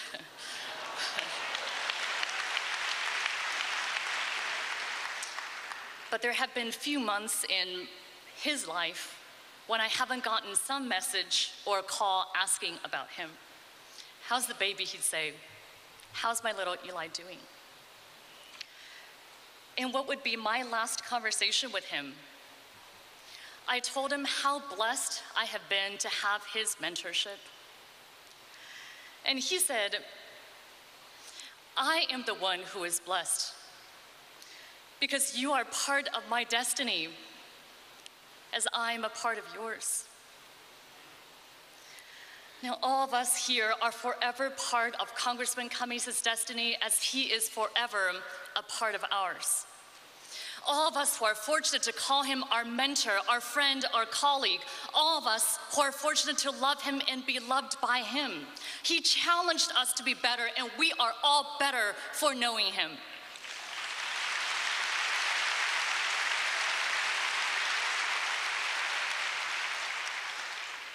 Now, today we feel the deep pain over his loss. We feel the deep pain for his one and only beloved Maya, for his daughters that he always calls the gifts that keep on giving, for his entire family whom he loved so deeply. We feel the deep pain for the loss of this great man who has touched every part of our city and everyone in our city.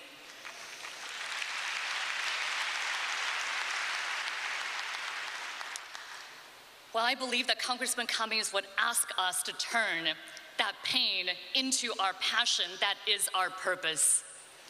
I believe he would ask us to honor his life's legacy by carrying on his life's work and making it our own. I believe he would ask us to call upon our better angels and think about the work that is bigger than us, so much bigger than us. That's about our children and the generations yet unborn that's about fulfilling our shared destiny to fight for the world as it should be. To Congressman Elijah Eugene Cummings, we love you. We thank you. May we be worthy of you, and may you rest in peace.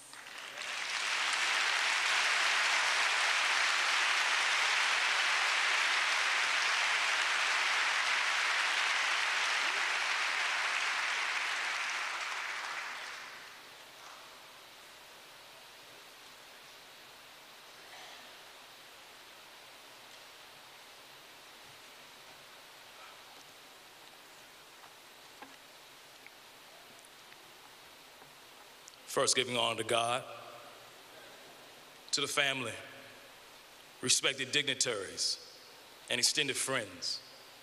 I sincerely appreciate the honor and privilege to express my deep appreciation for my friend, Congressman Elijah Cummings. The remarks that I will give on today are entitled The Final Lesson. When I think of the Congressman, I'm reminded of a quote from Bruce Lee. Bruce Lee once said, The key to immortality is living a life worth remembering.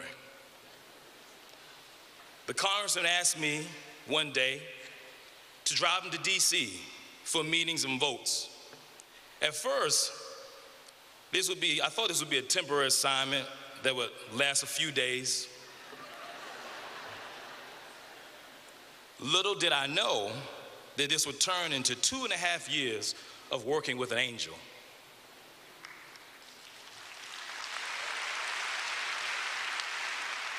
Suddenly, my life transformed from district director to bodyguard, mechanic, advisor, driver, chef.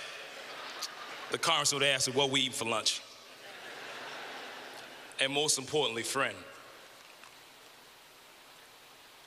I've worked with the congressman for 15 years, and he always took the time to teach me and the staff valuable life lessons. However, the last two and a half years were different. He once told me, he said, Spikes, if you give me five minutes, I can teach you something that took me 20 years to learn. Let that marinate for a second. Most of the lessons you may think were verbal, but I learned more from watching the congressman than I did in conversation. Lesson number one compassion and kindness. The congressman believed that empathy resided in all of us. He thought that compassion and kindness brought us closer to God. He believed that those attributes were the key to uniting the human spirit. Lesson number two the congressman believed in bridges. He knew that an opportunity, no matter how big or small, meant the difference between life or death and a person's matriculation in this world. As we traveled together, I always met someone who was grateful that the congressman took interest in their life. And had he not, they would not have had the blessings and opportunities that they have today.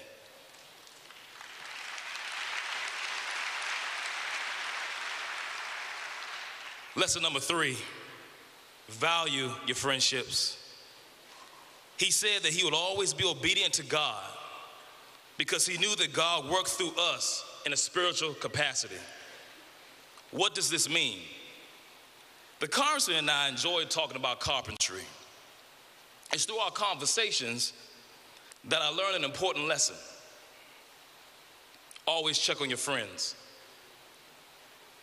Be the foundation for your friend when their house collapses, and be the roof for your friend when the rain comes.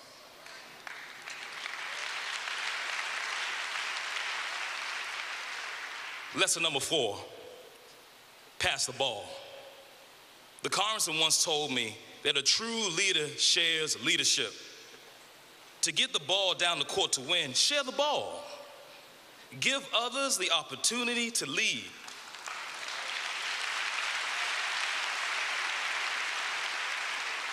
He exercised this lesson by work by looking to the youth for answers and choosing people to join him on his mission to help all Americans. We saw this in his committee assignments. Lesson number five, which is hard for me work through your pain. The congressman was one of the hardest workers that I ever knew. When we traveled through the country in his mission to fight for the soul of our democracy, when he spoke on the House floor or traveled to a community center to talk to children, he was always in pain. However, when it was time to address his audience, the congressman transformed into a spiritual warrior. It was as if he had received the cure to his pain. No armor, no sword, no shield, but God's, God's weapon of unconditional love for people.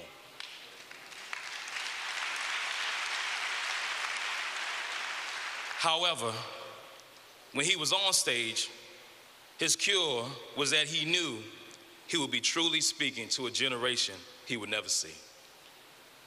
For days, I've been trying to figure out the first, the fifth lesson, but I finally got it. If he were here, the congressman would tell me, Harry, remember to be greater than your pain.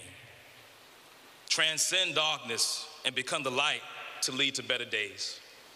Continue to fight when all hope is lost. And if one leg doesn't work, use a walker. At least you will be standing.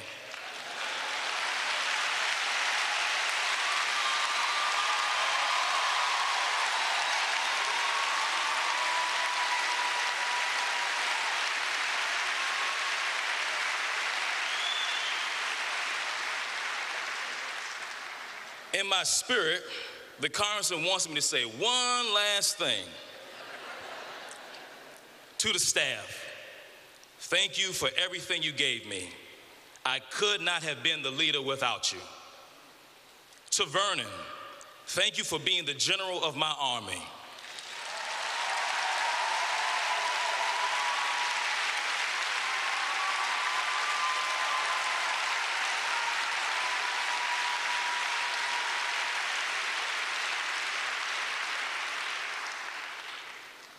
To family, thank you for letting me be Bobby. To my wife, thank you for your love and support.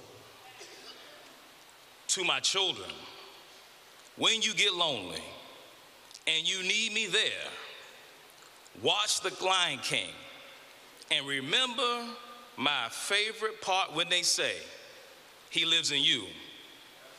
I will always live in you.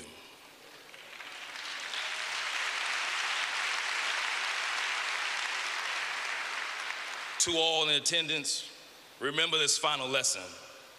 Life may change. You may change. Hard choices will come. But the congressman proved to us all that courage and will are timeless. Thank you.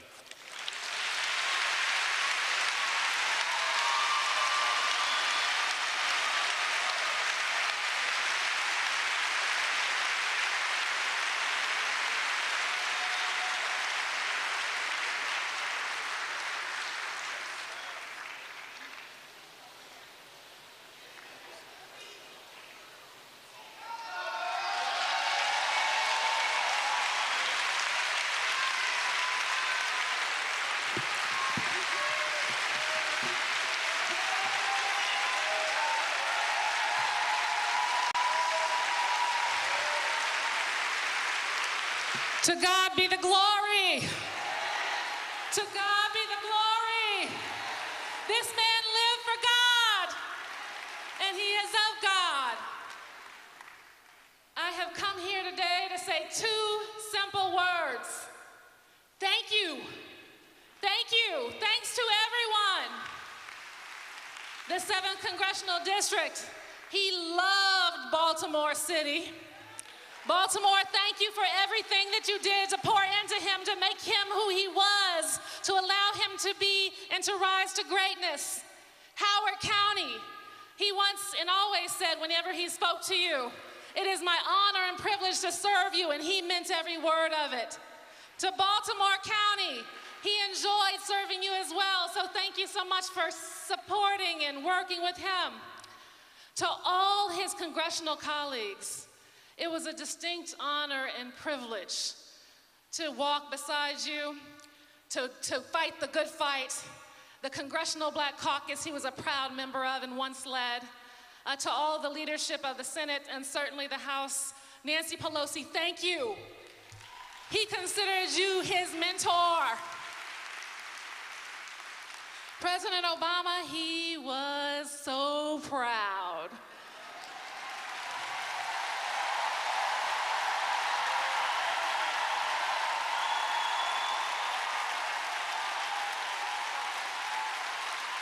So proud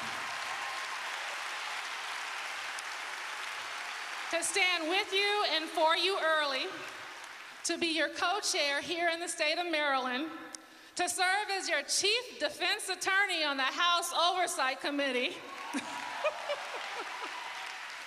and to make sure that you and your administration were all right. But you didn't have any challenges like we got going on now. So his job became harder over time. That being said, President Clinton, he was absolutely honored to be your friend. He counted you amongst his friend. When he invited you, you showed up. One of the proudest moments of his life when you came right here to New Psalmist Baptist Church and worshiped with us. We thank you so much. Secretary Clinton, oh my goodness. He spent many an hour defending you. against spurious claims. And now he had to go on to actually work to fight for the soul of our democracy against very real corruption.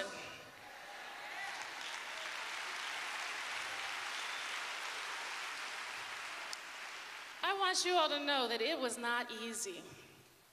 What Congressman Chairman Cummings did was not easy. And it got infinitely more difficult in the last months of his life when he sustained personal attacks and attacks on his beloved city. And while he carried himself with grace and dignity in all public forums, it hurt him.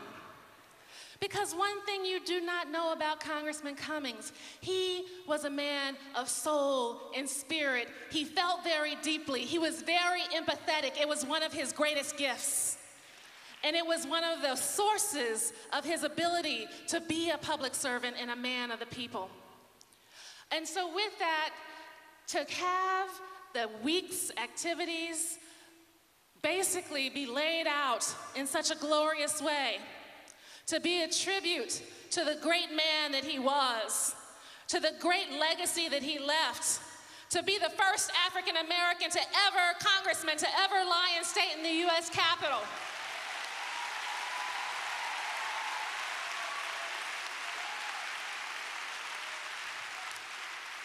Now, it is true that he dictated every aspect of his service today.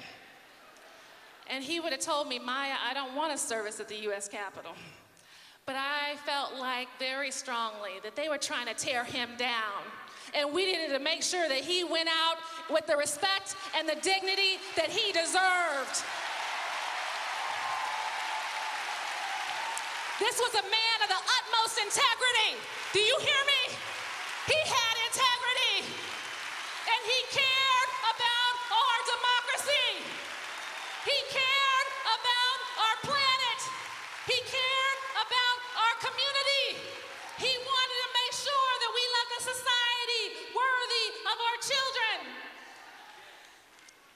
So I just want to tell you that it also wasn't easy in the last months of his life because he absolutely was in pain.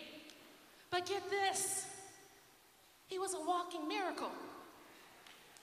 Do you know that he was diagnosed with a life threatening illness more than 25 years ago? He was given six months to live more than 25 years ago. And he kept going. He kept fighting. He kept standing. He kept working. And it was my distinct honor and privilege to be his spouse.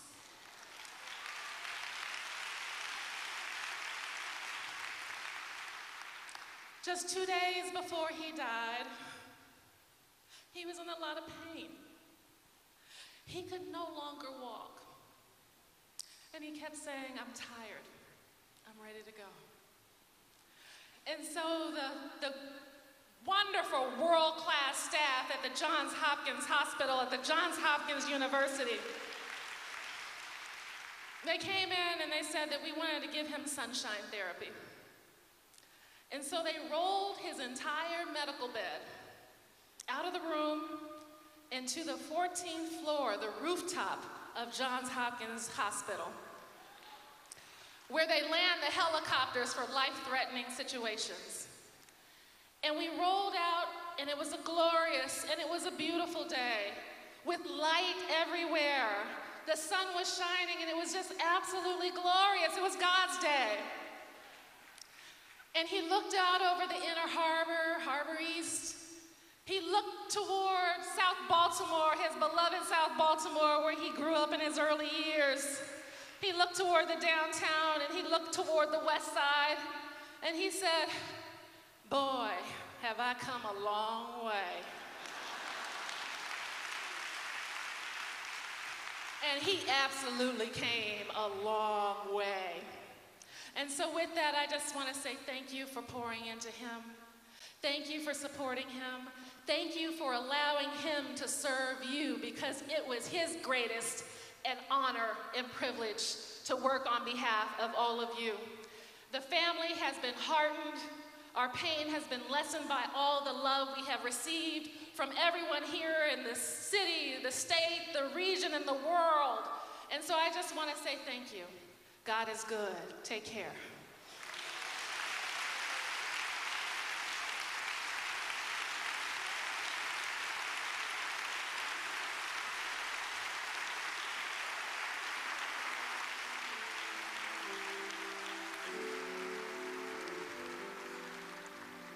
Elijah's life touched many. And we gather here today not for, as Maya said, a sprint to the finish line, but we gather here to pay homage to a man who meant so much to all of us. Two individuals thought it not robbery to make this morning a morning spent not in mourning,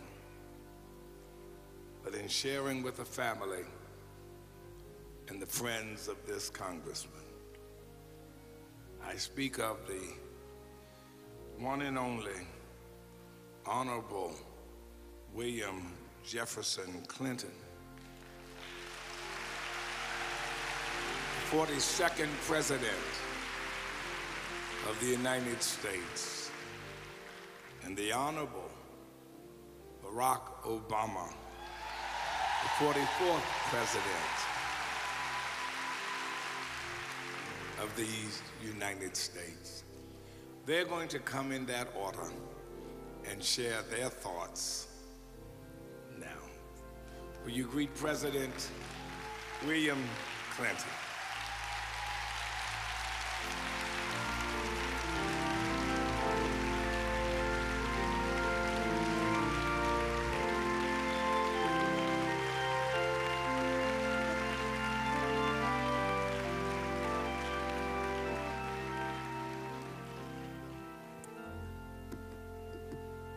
You very much, Bishop.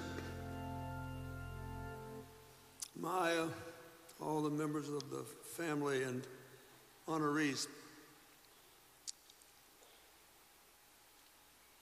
Bishop, I thank you for many things, but especially for the decades of guidance and genuine friendship you gave to Elijah. It is true that almost exactly 21 years ago, he invited me to New Psalmist on the Sunday before the election.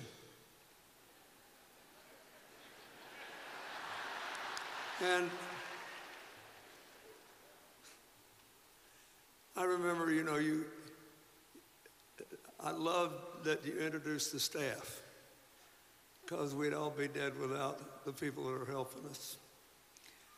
But if you're president, your staff is always trying to tell you why you shouldn't do something or you shouldn't go somewhere. I remember this very well. They said, it's Tuesday, Sunday before the election. Why would you go? I get why you want to go to an African American church, but why would you go to Baltimore? I mean, come on. They're so good to you. They always vote for you. And why would you go for Elijah Cummings? He's been in the House 15 minutes. He literally hadn't finished one term yet. I said, I just got a feeling this is something we ought to do. And if we do it, we'll know whether it was right or not. And so the bishop rolls out the red carpet. Thousands of people were there. And you may remember we got in some trouble, didn't we? We got in some trouble. They, people criticized us for having a get out to vote event in a church. They said it was inappropriate.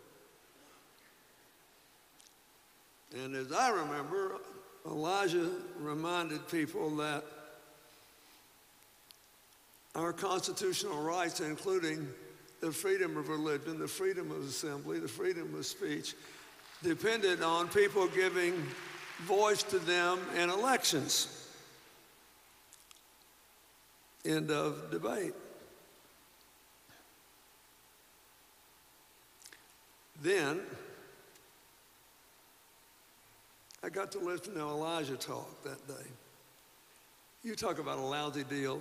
It was, I had to follow both the bishop and Elijah Cummings. And uh, at least I'm getting in ahead of you and President Obama today. I'm just so, I'm just,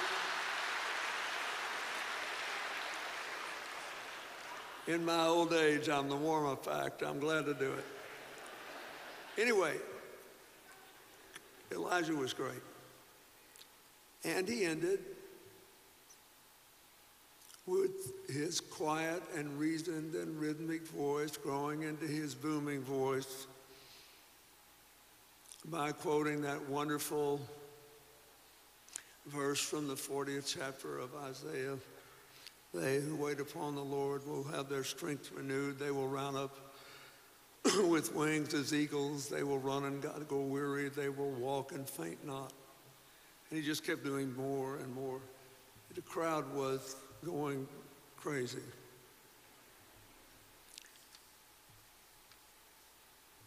Over the course of these last few days, I've had the chance to think a lot about Elijah's life. He really did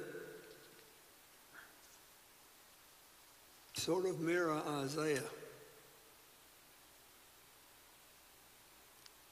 who had one of the greatest one liners in the history of human affairs. When the Lord asked, Whom shall I send and who will go for me? Isaiah said, Here am I, Lord, send me. Elijah Cummings spent a whole life saying, Send me. An entire lifetime.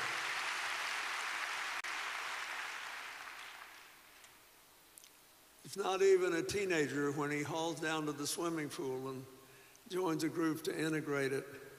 And for his trouble, gets banged on the head with a glass bottle, leaving him a lifetime scar, which he bore with honor.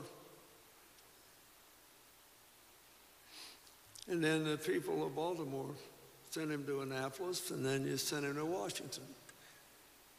On behalf of the rest of the nation, I'd like to thank you. You did a good thing. And then I was looking over all the things that he worked on just in the four years we were together. He was elected the year I was reelected, 1996. He had this amazing array of interests. But we all know now that, at least until certain things happen, his legacy is how ardently he honored his oath to protect and defend the Constitution of the United States.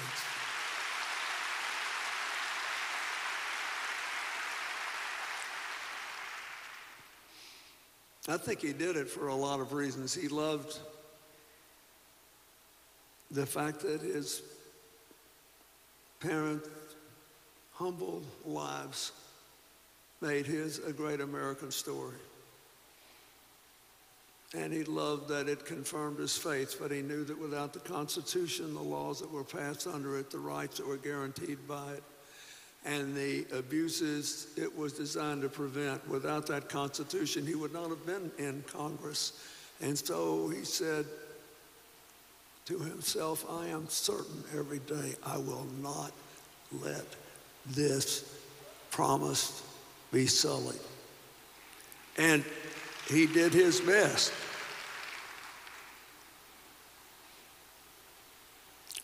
And while doing his best and fighting his heart out, sticking up for Hillary and lots of other people, many of whom were voiceless and weak and will never be known.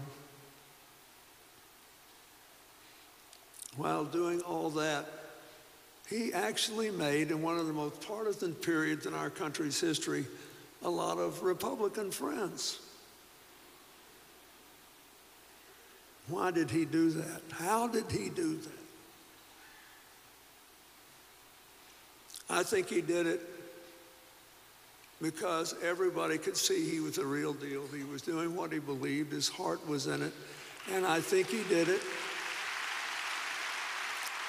because no matter how hard he fought and how passionately he argued, he tried to treat everybody the way he wanted to be treated, the way he thought America should be treated. You know, you can't run a free society if you have to hate everybody you disagree with.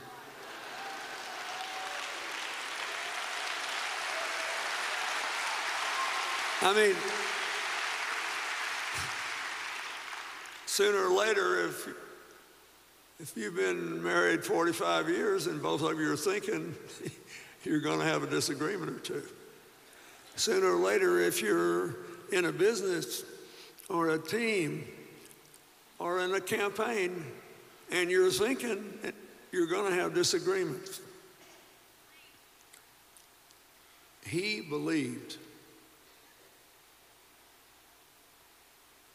that he should treat people the way he wanted to be treated. And he believed if everybody accepted his broad, endearing, inclusive definition of one America, where we respect our differences and think what we have in common matters more.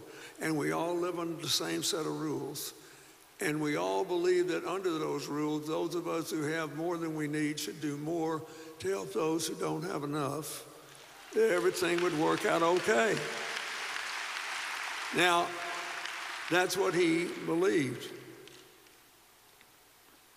And being friends, he was so proud that he could help resolve the personal spat between his Republican congressional friend and new member of the Democratic caucus. But he believed. So here's what I want to leave you with.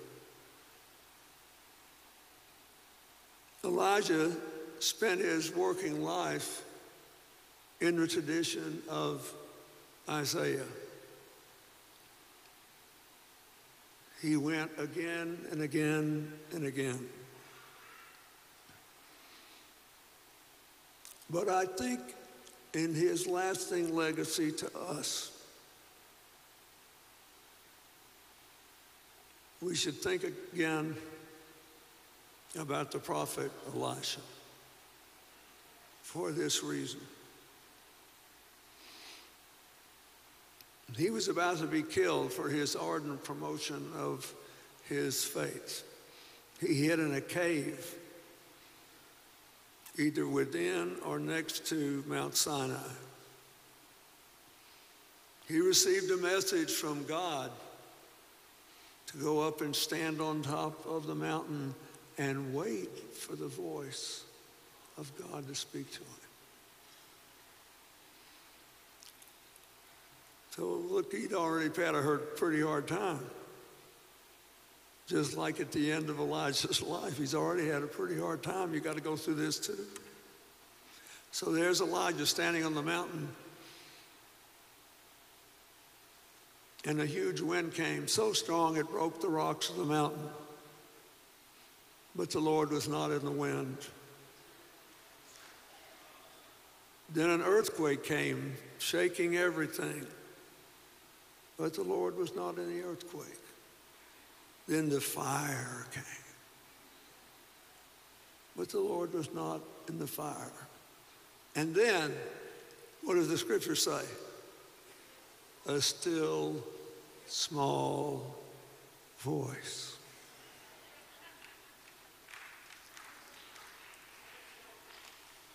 Elijah by that point had gotten rid of all the pomp, all the circumstance, all the glory for the still small voice. I love this man. I loved every minute I ever spent with him, every conversation we ever had. I loved his booming voice. But we should hear him now in the quiet times at night and in the morning when we need courage when we get discouraged and we don't know if we can believe anymore, we should hear him.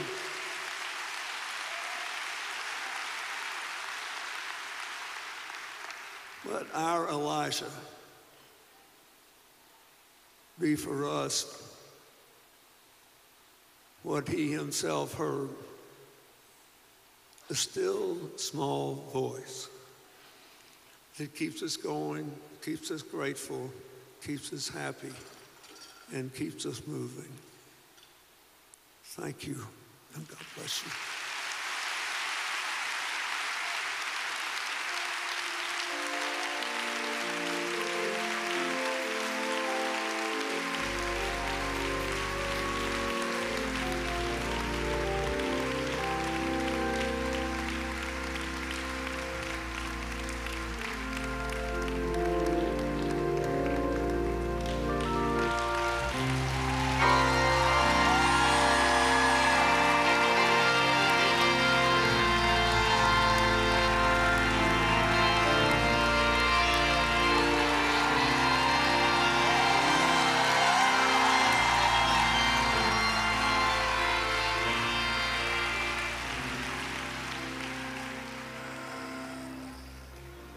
Bishop and first lady and the new psalmist family.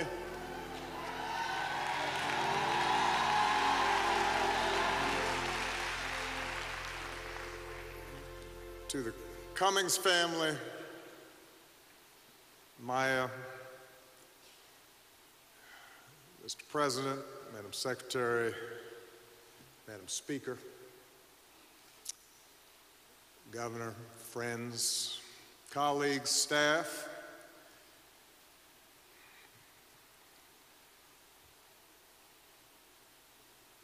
The seeds on good soil.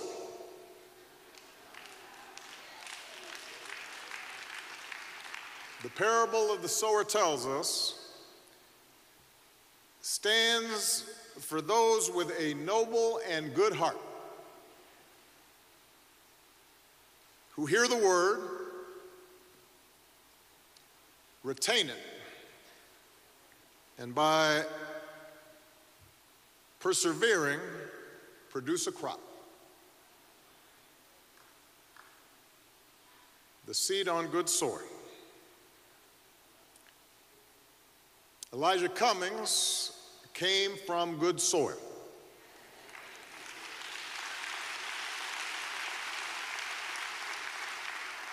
And in this sturdy frame, goodness took root.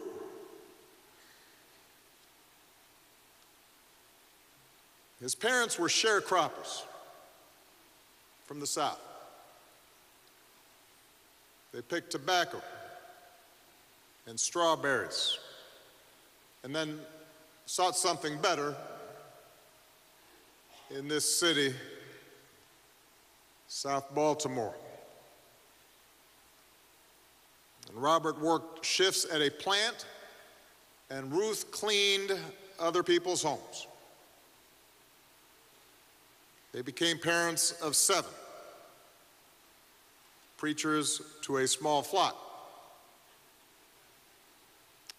I remember I had the pleasure of meeting Elijah's mother, uh, Ruth, and she told me she prayed for me every day. And I knew it was true. And I felt better for it. Sometimes people say they're praying for you, and you don't know.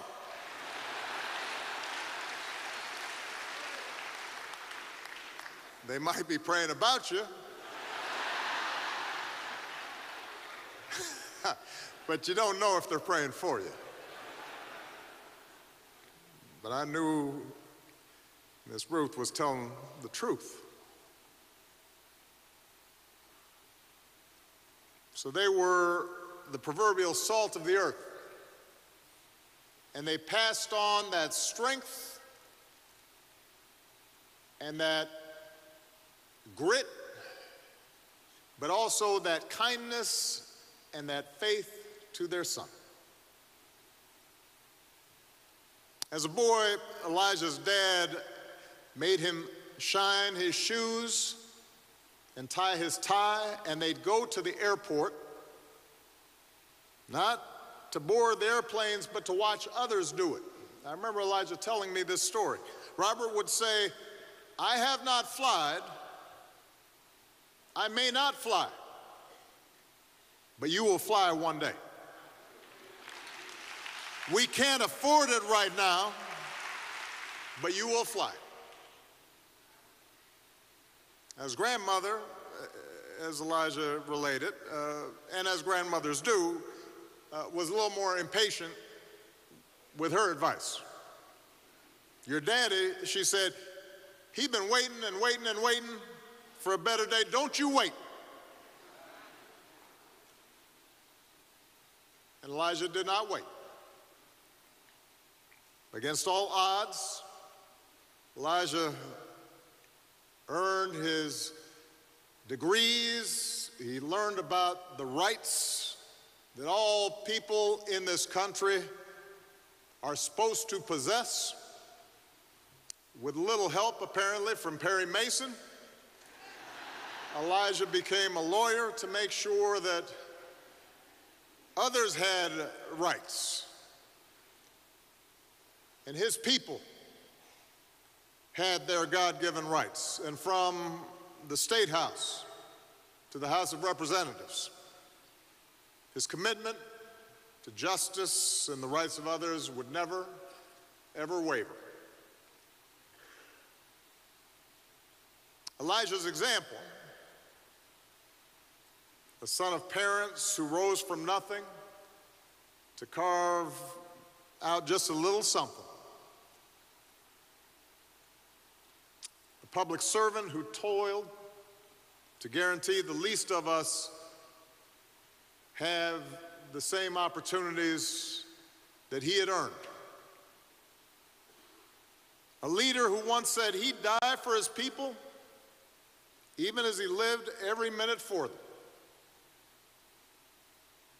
His life validates the things we tell ourselves about what's possible in this country. Not guaranteed, but possible. The possibility that our destinies are not preordained, but rather through our works and our dedication and our willingness to open our hearts to God's message of love for all people, we can live a purposeful life. That we can reap a bountiful harvest.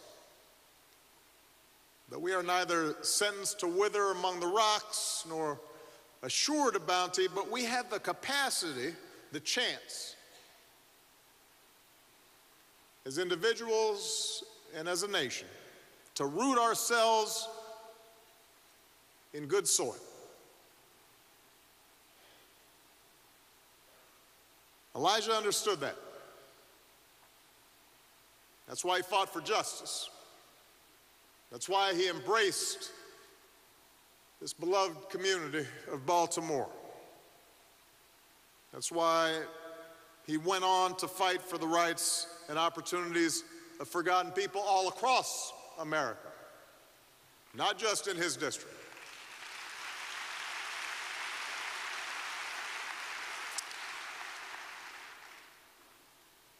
He was never complacent, for he knew that without clarity of purpose and a steadfast faith and the dogged determination demanded by our liberty,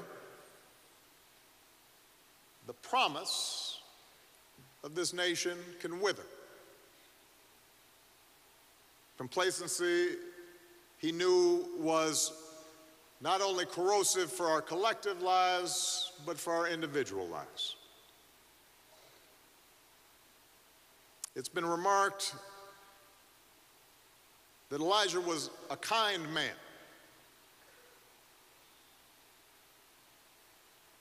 I tell my daughters, and I have to say, listening to Elijah's daughters speak, uh,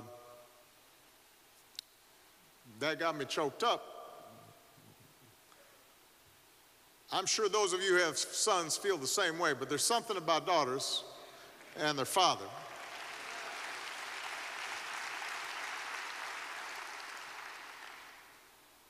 Was thinking I'd want my daughters to know how much I love them, but I'd also want them to know that being a strong man includes being kind.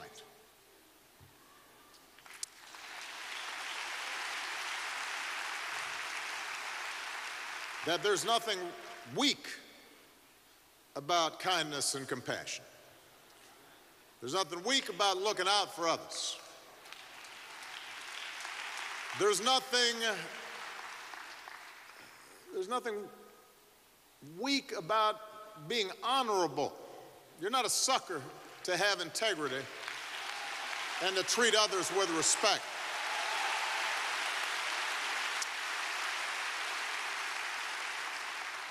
I was sitting here and I was just noticing the Honorable Elijah E. Cummings. And, you know, this is a title that we confer on all kinds of people who get elected to public office.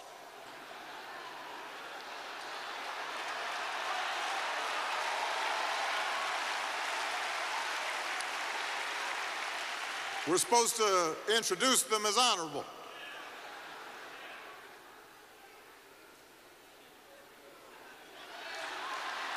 But, but Elijah Cummings was honorable before he was elected to office. There's a difference.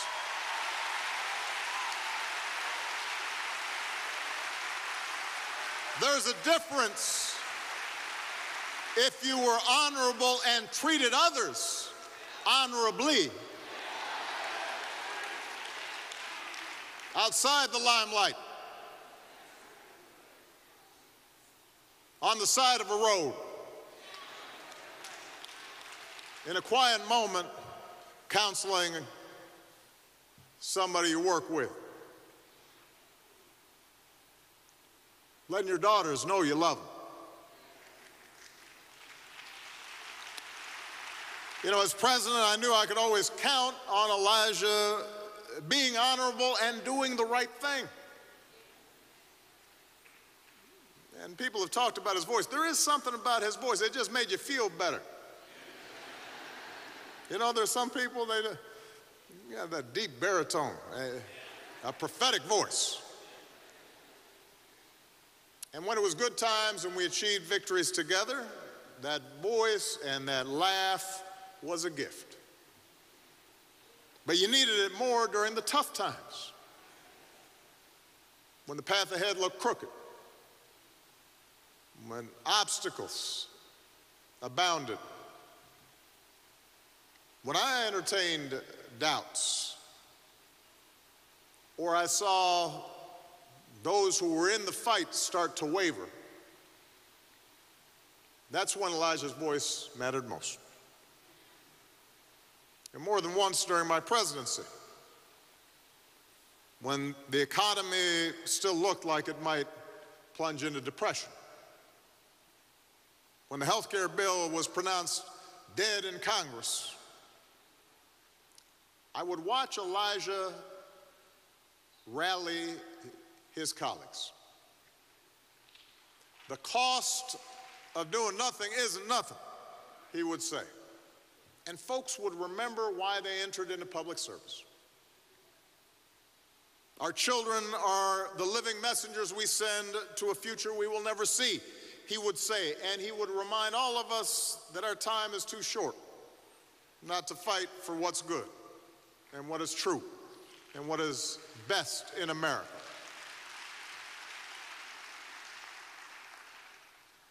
Two hundred years to 300 years from now, he would say, people will look back at this moment and they will ask the question, What did you do? And hearing him, we would be reminded that it falls upon each of us to give voice to the voiceless and comfort to the sick, an opportunity to those not born to it, and to preserve and nurture our democracy. Elijah Cummings was a man of noble and good heart. His parents and his faith planted the seeds of hope and love and compassion and righteousness in that good soil of his. He has harvested all the crop that he could. For the Lord has now called Elijah home to give his humble, faithful servant rest. And it now falls on us to continue his work so that other young boys and girls in Baltimore, across Maryland, across the United States, and around the world might too have a chance to grow and to flourish. That's how we will honor him. That's how we will remember him. That's what he would hope for. May God bless the memory of the very honorable Elijah Cummings.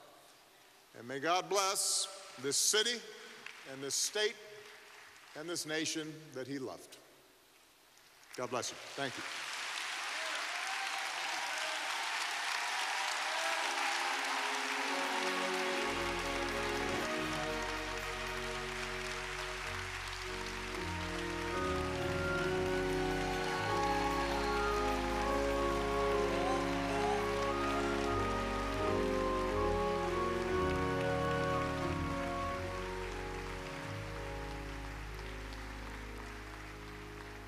Just about 40 years, Congressman Elijah Cummings was an active member of the New Psalmist Baptist Church. Each and every Sunday morning, his faith was strengthened and enriched through the preaching ministry of Bishop Walter Scott Thomas Sr., whom he not only called pastor, but also friend. After the choir has lifted the great hymn of the church, It Is Well, the next voice we shall hear is that of Congressman Elijah Cummings, pastor, Bishop Walter Scott Thomas Sr., the senior pastor of the New Psalmist Baptist Church and the presiding prelate of the Kingdom Association of Covenant Pastors. I ask that as he mounts the pulpit desk, we might stand in honor and reverence to the office he holds as bishop in the Church of the Lord Jesus Christ.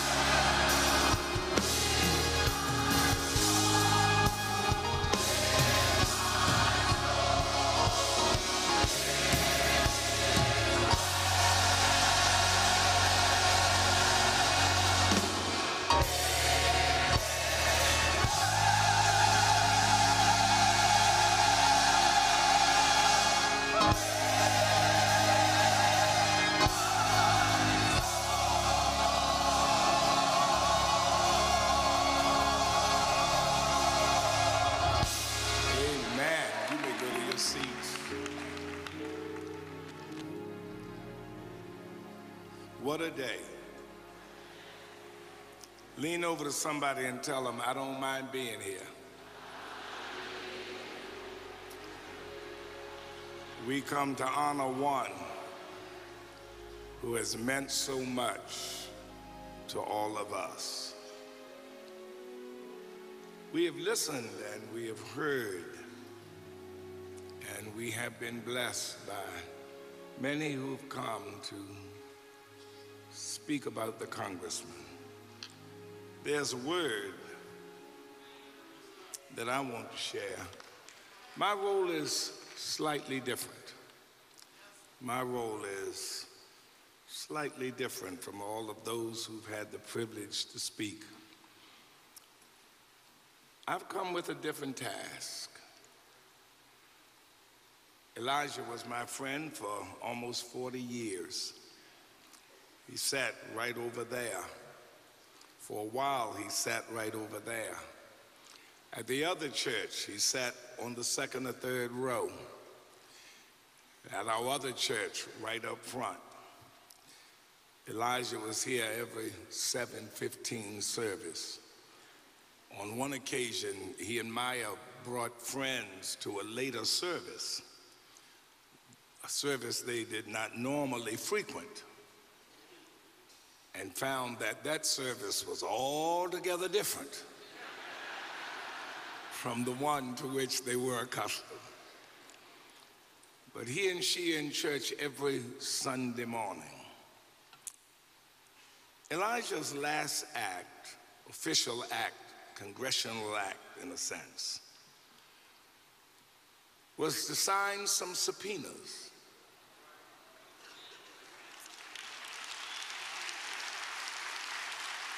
I saw him that morning. I did not know he was still working, but he was working. But that was not his last official act for God. His last official act for God, and let me preface it by saying this. So many times preachers will talk about speaking truth to power. It is a common statement known by many. We speak truth to power. The real problem is power is not often there.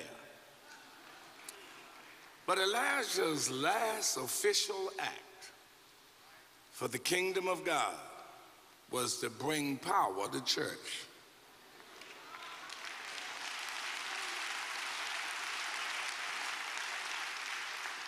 I didn't get a big amen on that.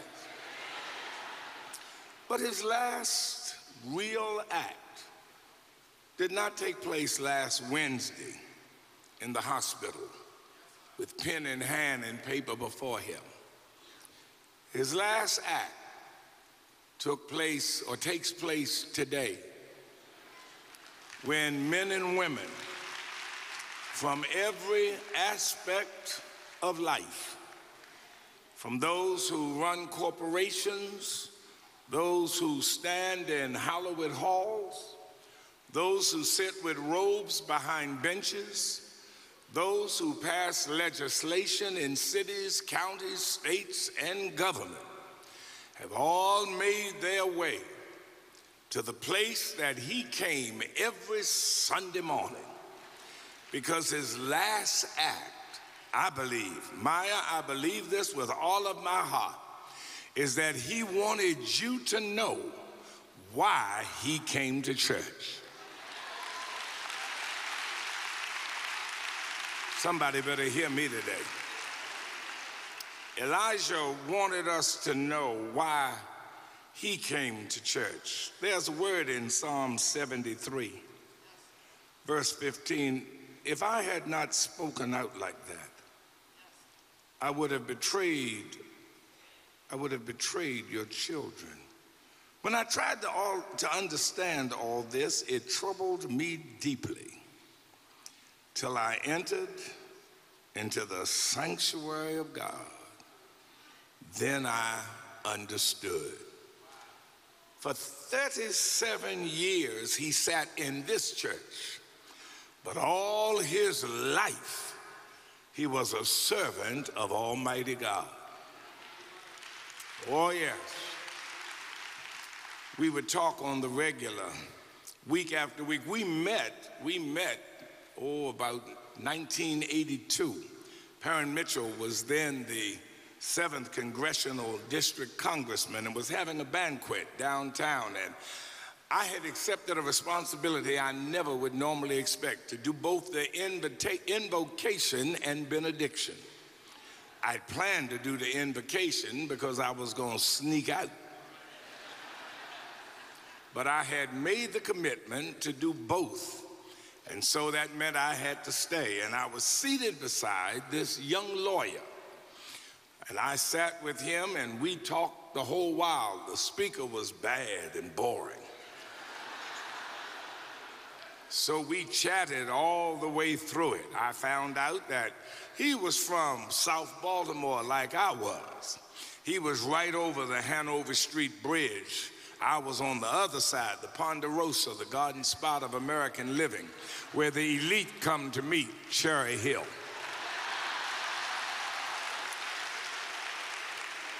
And he was from South Baltimore proper. And so we talked about that. Then we changed the conversation after we realized we had that in common and traveled on to where we went to school because in Maryland, in Baltimore, where you went to high school is critical. He informed me that he had gone to this castle on the hill, this place with a black knight, commonly called City College. And I informed him that I had gone to the only high school in this city, the Baltimore Polytechnic Institute. And we laughed over the salad as we talked about that. We found out we had so much in common and we became friends. And little by little, I saw him coming into the church, and then he joined, his partner joined, family joined. And Elijah became a permanent fixture here. For a time, our legal counsel, always my counselor, and we became fast friends. And every Sunday morning, Elijah Cummings is in church, and God is moving him higher and higher and higher. Don't tell me serving God won't lift you up. Don't tell me the steps of a good man are not ordered by the Lord. God raised him one step after another. His law, Elijah, Phi Beta Kappa, Phi Beta Kappa from Howard University, graduating University of Maryland Law. Elijah could have been in any 500 company. He could have been a major lawyer downtown with any of the major law firms. But instead, he decided to open his practice to help people who could not find help for themselves a smart, brilliant attorney running a shop and beginning, God is elevating him with no political machine behind him whatsoever. None. Elijah, from the time that he ran for his first office till the time that he ran for his last seat in Congress, Elijah Eugene Cummings never had a political machine behind him. Never. He had no clubs. Elijah just had people. He had people from here and there and everywhere who would come out and support him. God raising him up every Sunday in church. God raising him up higher and higher. He runs for state delegate, wins that seat people like Lena K. Lee, Verda Welcome, and others who in their heyday had, and Juanita Mitchell and Parren Mitchell, had planted a seed in him and it had begun to grow and he wanted to step into public office. And so he climbs in, but God is still lifting him. And in 1996, God puts him in Congress. And as the president said, he hadn't been there 15 minutes when he invited William Jefferson Clinton, President of these United States, to come to his home church and worship. For every year he was in Congress, family. For every year he was in the State House. For every year he was a lawyer. He was in church. And the question comes on the last thing that he can do because the request came to have his service at the Basilica, to have his service downtown, to have his service in the various other large places in town. But the decision was made by his wife that his service would be one place the New Psalmist Baptist Church. And he was bringing power to church. Somebody better hear what I'm saying. Elijah has brought power to church. Buses rolling up here. Somebody better hear me. I mean, buses coming from everywhere. We got police. I mean, the only thing we don't have is a couple in the ceiling. They are everywhere. We've got security. We've got we've got secret service and public service. We've got everything everywhere. They've all come to church. We had folk calling up, I want 20 seats. I want five seats. And you know what we did? We said, we'll get you every seat you want because Elijah wants you in church on the day he goes home. Somebody said, Who are you inviting? We inviting everybody. As Larry Young used to say, Lottie Dottie and everybody. Somebody said, You got too many VIPs. I told the team, Everybody is a VIP. Bring everybody, treat them like a VIP. Our fraternity is here. The sororities are here. Morgan is here. You name it. Every place of power, Elijah has called them in.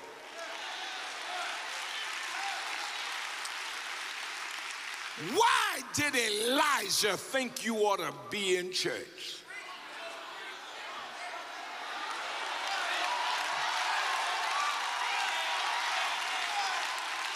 Why did Elijah think you ought to be in church? Help me, somebody. Not somebody say, uh oh. I tell you why Elijah wanted you in church, because he found something in church. God, I feel like preaching right now. Walt, I feel like doing a dance for my friend Elijah. Elijah wanted you in church because he wanted you to know what he found in church. Elijah found in God's house and with God that God will help you recognize your own frailties but cling to your own possibilities. That's what Elijah came to church for. Elijah would be the first one to tell you he wasn't perfect.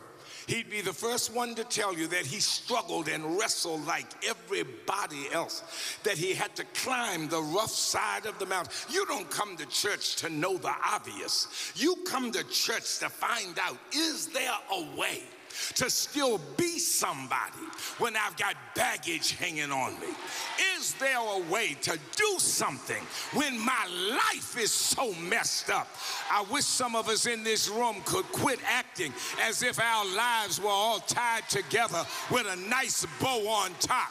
Some of y'all are wondering how you gonna make it and how you gonna get through and how you gonna climb the mountains. Elijah said, I come to church because in church he looks beyond my faults and God sees my needs. God looks at past my shortcomings. Nudge somebody and tell them, I don't always do right. Some of us, and listen, I know some of y'all didn't nudge nobody. Nudge them and say, stop lying and nudge somebody. You know you have problems like everybody else. Elijah said, I come to church because in church I can recognize my failures and I can claim my possibilities so that when I leave church, I can go out of here and tell somebody else it is no secret what God can do in your life, what He's done for others he will surely do. That's why I want you here. You only see people's frailties. You don't see their possibilities. That's why I want you here. You only see how they messed up. I want you to see what they can become. God, I wish I had some folk here who could remember that because some of us didn't always come from living high on the hog. Some of us came from no meal, miss meal, and skip meal. Some of us came from mama doing your hair in the kitchen. Some of us came from walking to school, help us, God. Some of us came from those brown bags you cut up and put over your books and call them book covers. Some of us came from starting our first business in a basement. Somebody better hear me. God will show you all things are possible if you believe. I'm not going to be long. That's why he wanted you here. He wanted you to come with your brokenness and understand that every week he brought his brokenness and God gave him and showed him his possibilities. I remember when he ran for office for Congress for the first time. No machine. People he thought would be with him weren't. Hello. Wait a minute. Come on now. Folk he thought had his back left his back. Others put a dagger in his back. And folk were saying he ain't gonna win.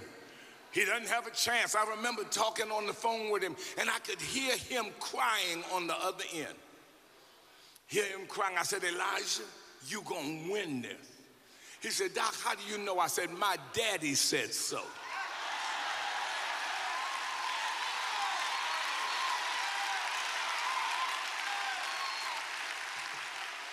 And on that night he won. Political heads were turned. I got in my car, rode down there as a proud pastor of Elijah Eugene Cummings said, Look at God. Take you from South Baltimore and put you in Congress. Don't you tell me what God can't do. Why, that's the first thing. You know why he wanted you to come to church? He wanted you to come to church because he knew, and he came to church because all of us, especially those in this room, need a regrounding of your grounding. Need a regrounding of your grounding. Some of us have forgotten what we were brought up on. We've forgotten it. When somebody died in my neighborhood, you had a grief buffet. Somebody came in with a ham. Somebody brought greens. And somebody brought a pie. Somebody was around the neighborhood collecting money. Child, I remember when there were only a few cars in the neighborhood. And so everybody would pile into a car like a, a, a, a national almanac trying to set a new record going to the beach. I, remember when we had barbecues in the backyard and when a sprinkler was your swimming pool.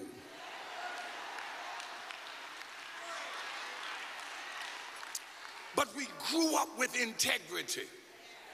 We grew up caring for each other. We grew up with a sense of selflessness. Help me, somebody. Elijah came to church every week because he knew how easy it is to forget where you've come from. As a friend of mine once said, you know, a person was speaking, you know, um, trying to let people know how impressive they were. And they were telling them that the church was having a dinner after church and they were having chitterlings and collards.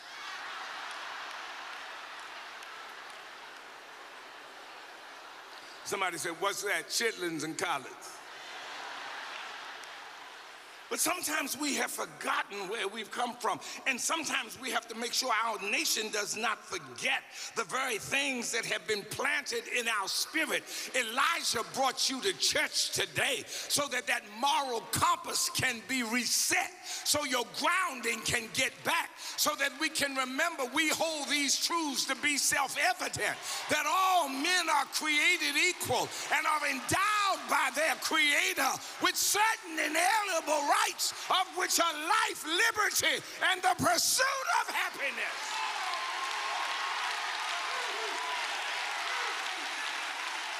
He brought you to church to be regrounded. Because we can we can forget it. We can get so caught up in the new place where we are that we forget the old place that brought us there. My God, some of us grew up on amazing grace.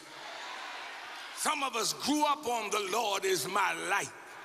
And we've forgotten that in the, in the end, we will not stand before presidents or kings. We will stand before he who is the judge of the ages. And when I see him, I want to stand shoulder to shoulder with all of those who have stood before me and not be ashamed because I'm grounded in where I came from. His mama and daddy were preachers. They were Pentecostal preachers. Y'all missed that. No, don't you equate everything alike. Oh, no, no, no, no in a Pentecostal home, you're going to learn how to pray. Am I right, brothers and sisters? And in a Pentecostal home, you go into church, or somebody to plead the blood on you. They're to pour oil on you. And I promise you, they're to cast out a devil. Yes, they are. Am I right? Am I right? Elijah could never wanted to forget that. He didn't want to be driven around and forget when he had to scrape money together to make payroll. Somebody better hear me in here. He didn't want to be flashy and forget what it was like to have folks say, I- will pay you later, Mr. Cummings, and, and be able to live with that and accept it. He never wanted to lose what was grounded in him. And I, I think he brought you to church because too many in our country are forgetting where they came from and what was instilled in them. We were not taught to be divided. Mama would backslap you if you talked out a turn. Somebody in here, remember this line? I didn't beat you for what you did. I beat you for how you said it. Help me, somebody. Elijah said, I never want to lose that ability to talk to folk and to get along with folk. We may disagree on the issue, but you are still a person and I'm still a person and we're still trying to get somewhere. My mama taught me that. My mama taught me I'm not worse than anybody, but she also taught me I'm not better than anybody. And she taught me that the God I serve will make a way for everybody. She taught me how to take care of the least, the left left out, the lonely, those that can't lift themselves. Do you know why our Elijah was so articulate? He never forgot his grounding. I heard people mentioning that Elijah was a prophet, or rather was like the prophet Elijah. Nudge somebody say, get this. They're talking about Elijah the prophet, but Elijah was a prophet. A prophet, according to Walter Brueggemann, an Old Testament scholar, says a prophet does three things. A prophet critiques the dominant ideology.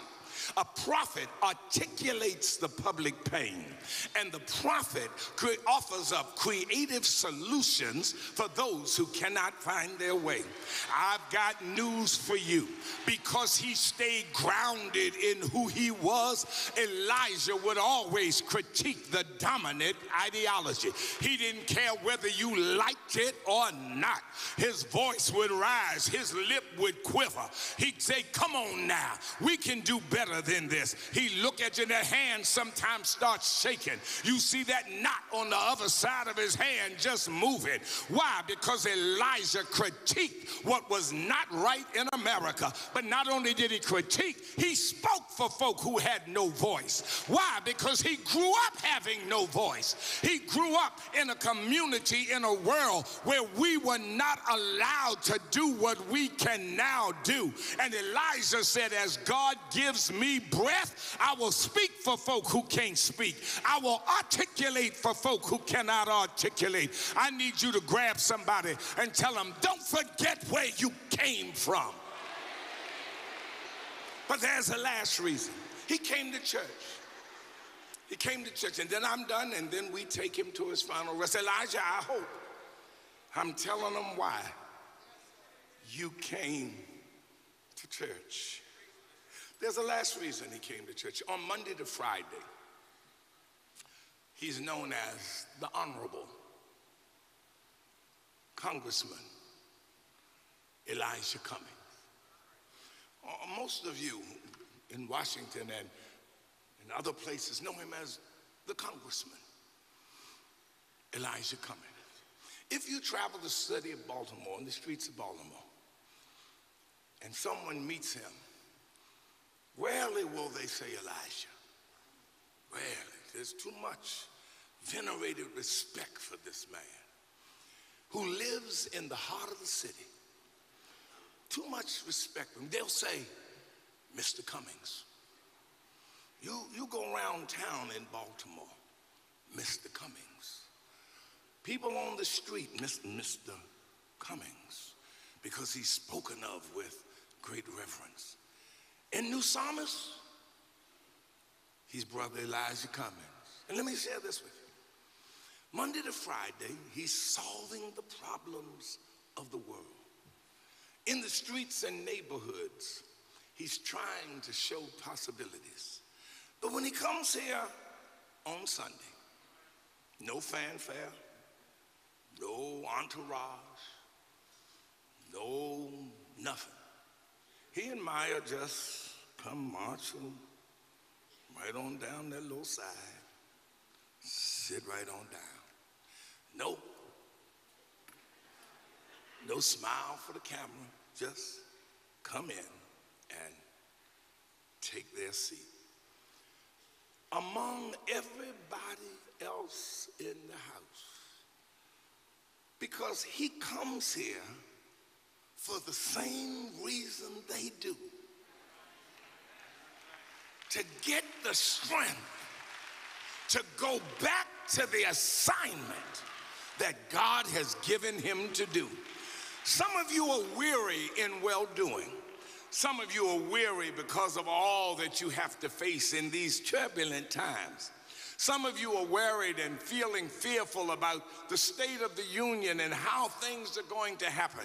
But week after week, Elijah Cummings came to church so that that kind of pessimism could never take rootage in his soul. So that that kind of hopelessness and despair could never be the tenor of his conversation. He came every week because God was telling him, I'll give you the strength to go back and make a difference one more week. All I need you to do is have faith and believe that I will make a way somehow. You all, as Maya said, you don't know how sick he's been over these years. There were times I didn't expect to see him coming to church. And Maya would say, Oh, he's coming. He's coming today. And he would roll right on in because Elijah would say, As long as God gives me strength, I'm going to be able to go back and fight another day. Never fighting with despair, never fighting with pessimism, fighting with the one weapon Jesus Christ made sure he had.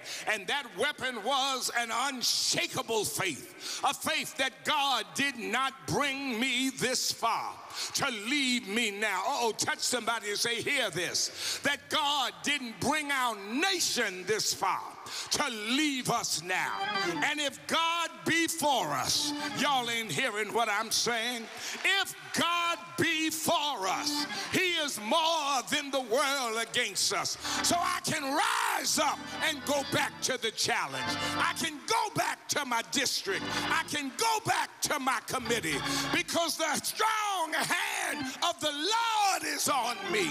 His wish for you is that you will have a faith that will not shrink, though pressed by every foe, that will not tremble on the brink of any earthly woe. I'm done now. Sleep on, Elijah. Where are you, Elijah? I'm in glory land. It took me a while to get here, but I can stand before my God and I can hear him say, Well done. And may the work I've done, May the work I've done, may the work I've done speak for me.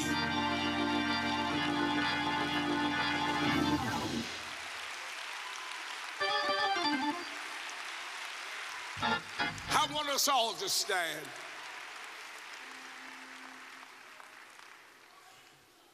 Well, buddy.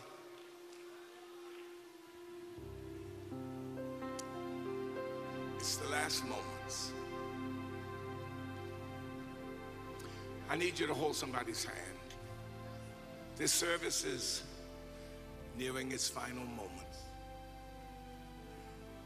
But this is his gift. This is his gift to you. This is why he wanted you to come to church. Some folk didn't get here today. Some folk didn't make it. Some folks said, nah, but you came. You came. Don't ever forget. And maintain your faith in the rightfulness of God sitting on the throne.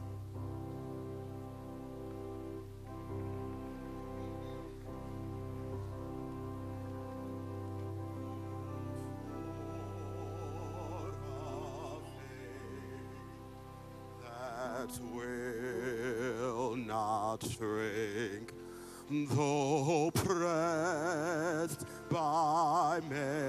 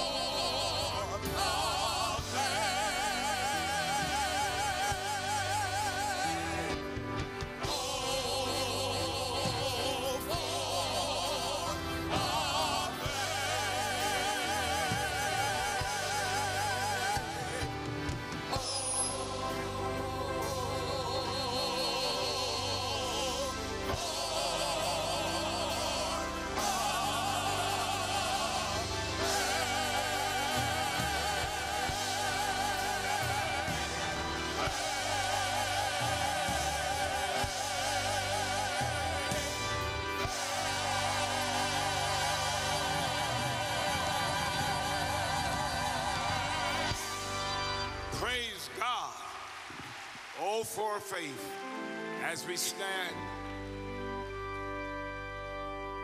Would you bow your heads for the closing prayer?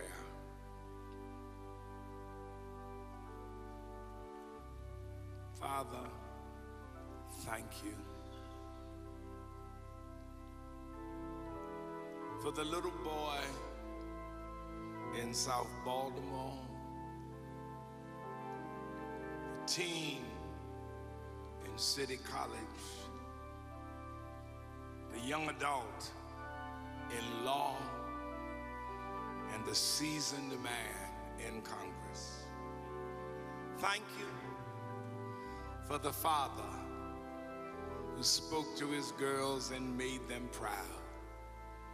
Thank you for the husband who loved his wife to the very end. Thank you for the family member who knew the wide expanse of family love. Thank you for the Christian,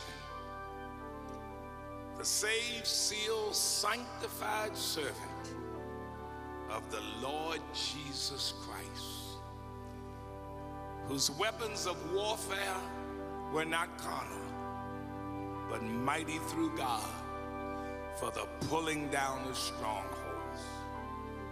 Now, God, be praised. Thank you for letting us know him.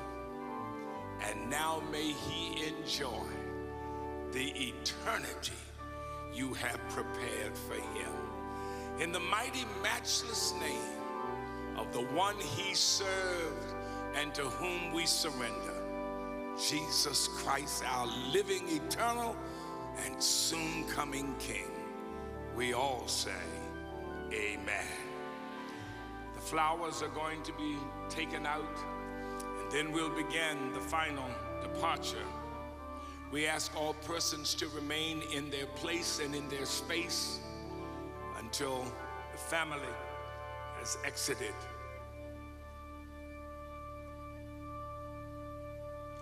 Pallbearers are asked to assemble at the rear of the church.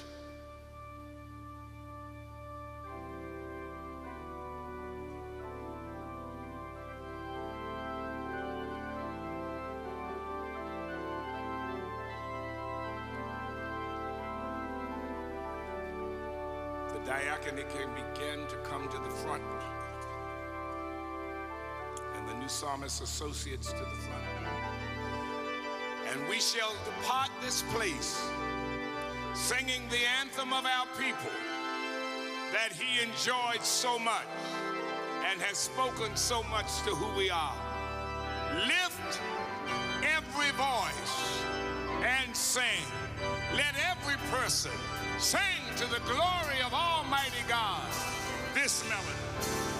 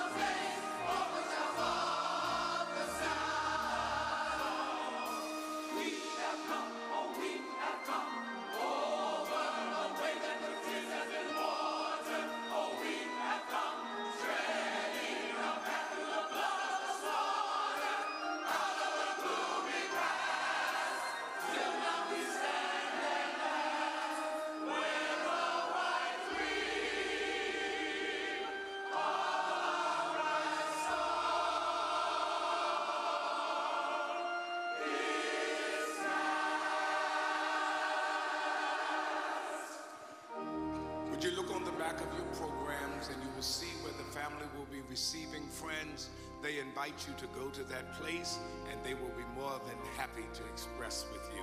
Thanks to the March Funeral Home for the fine way they have successfully led the family through this moment of deepest pain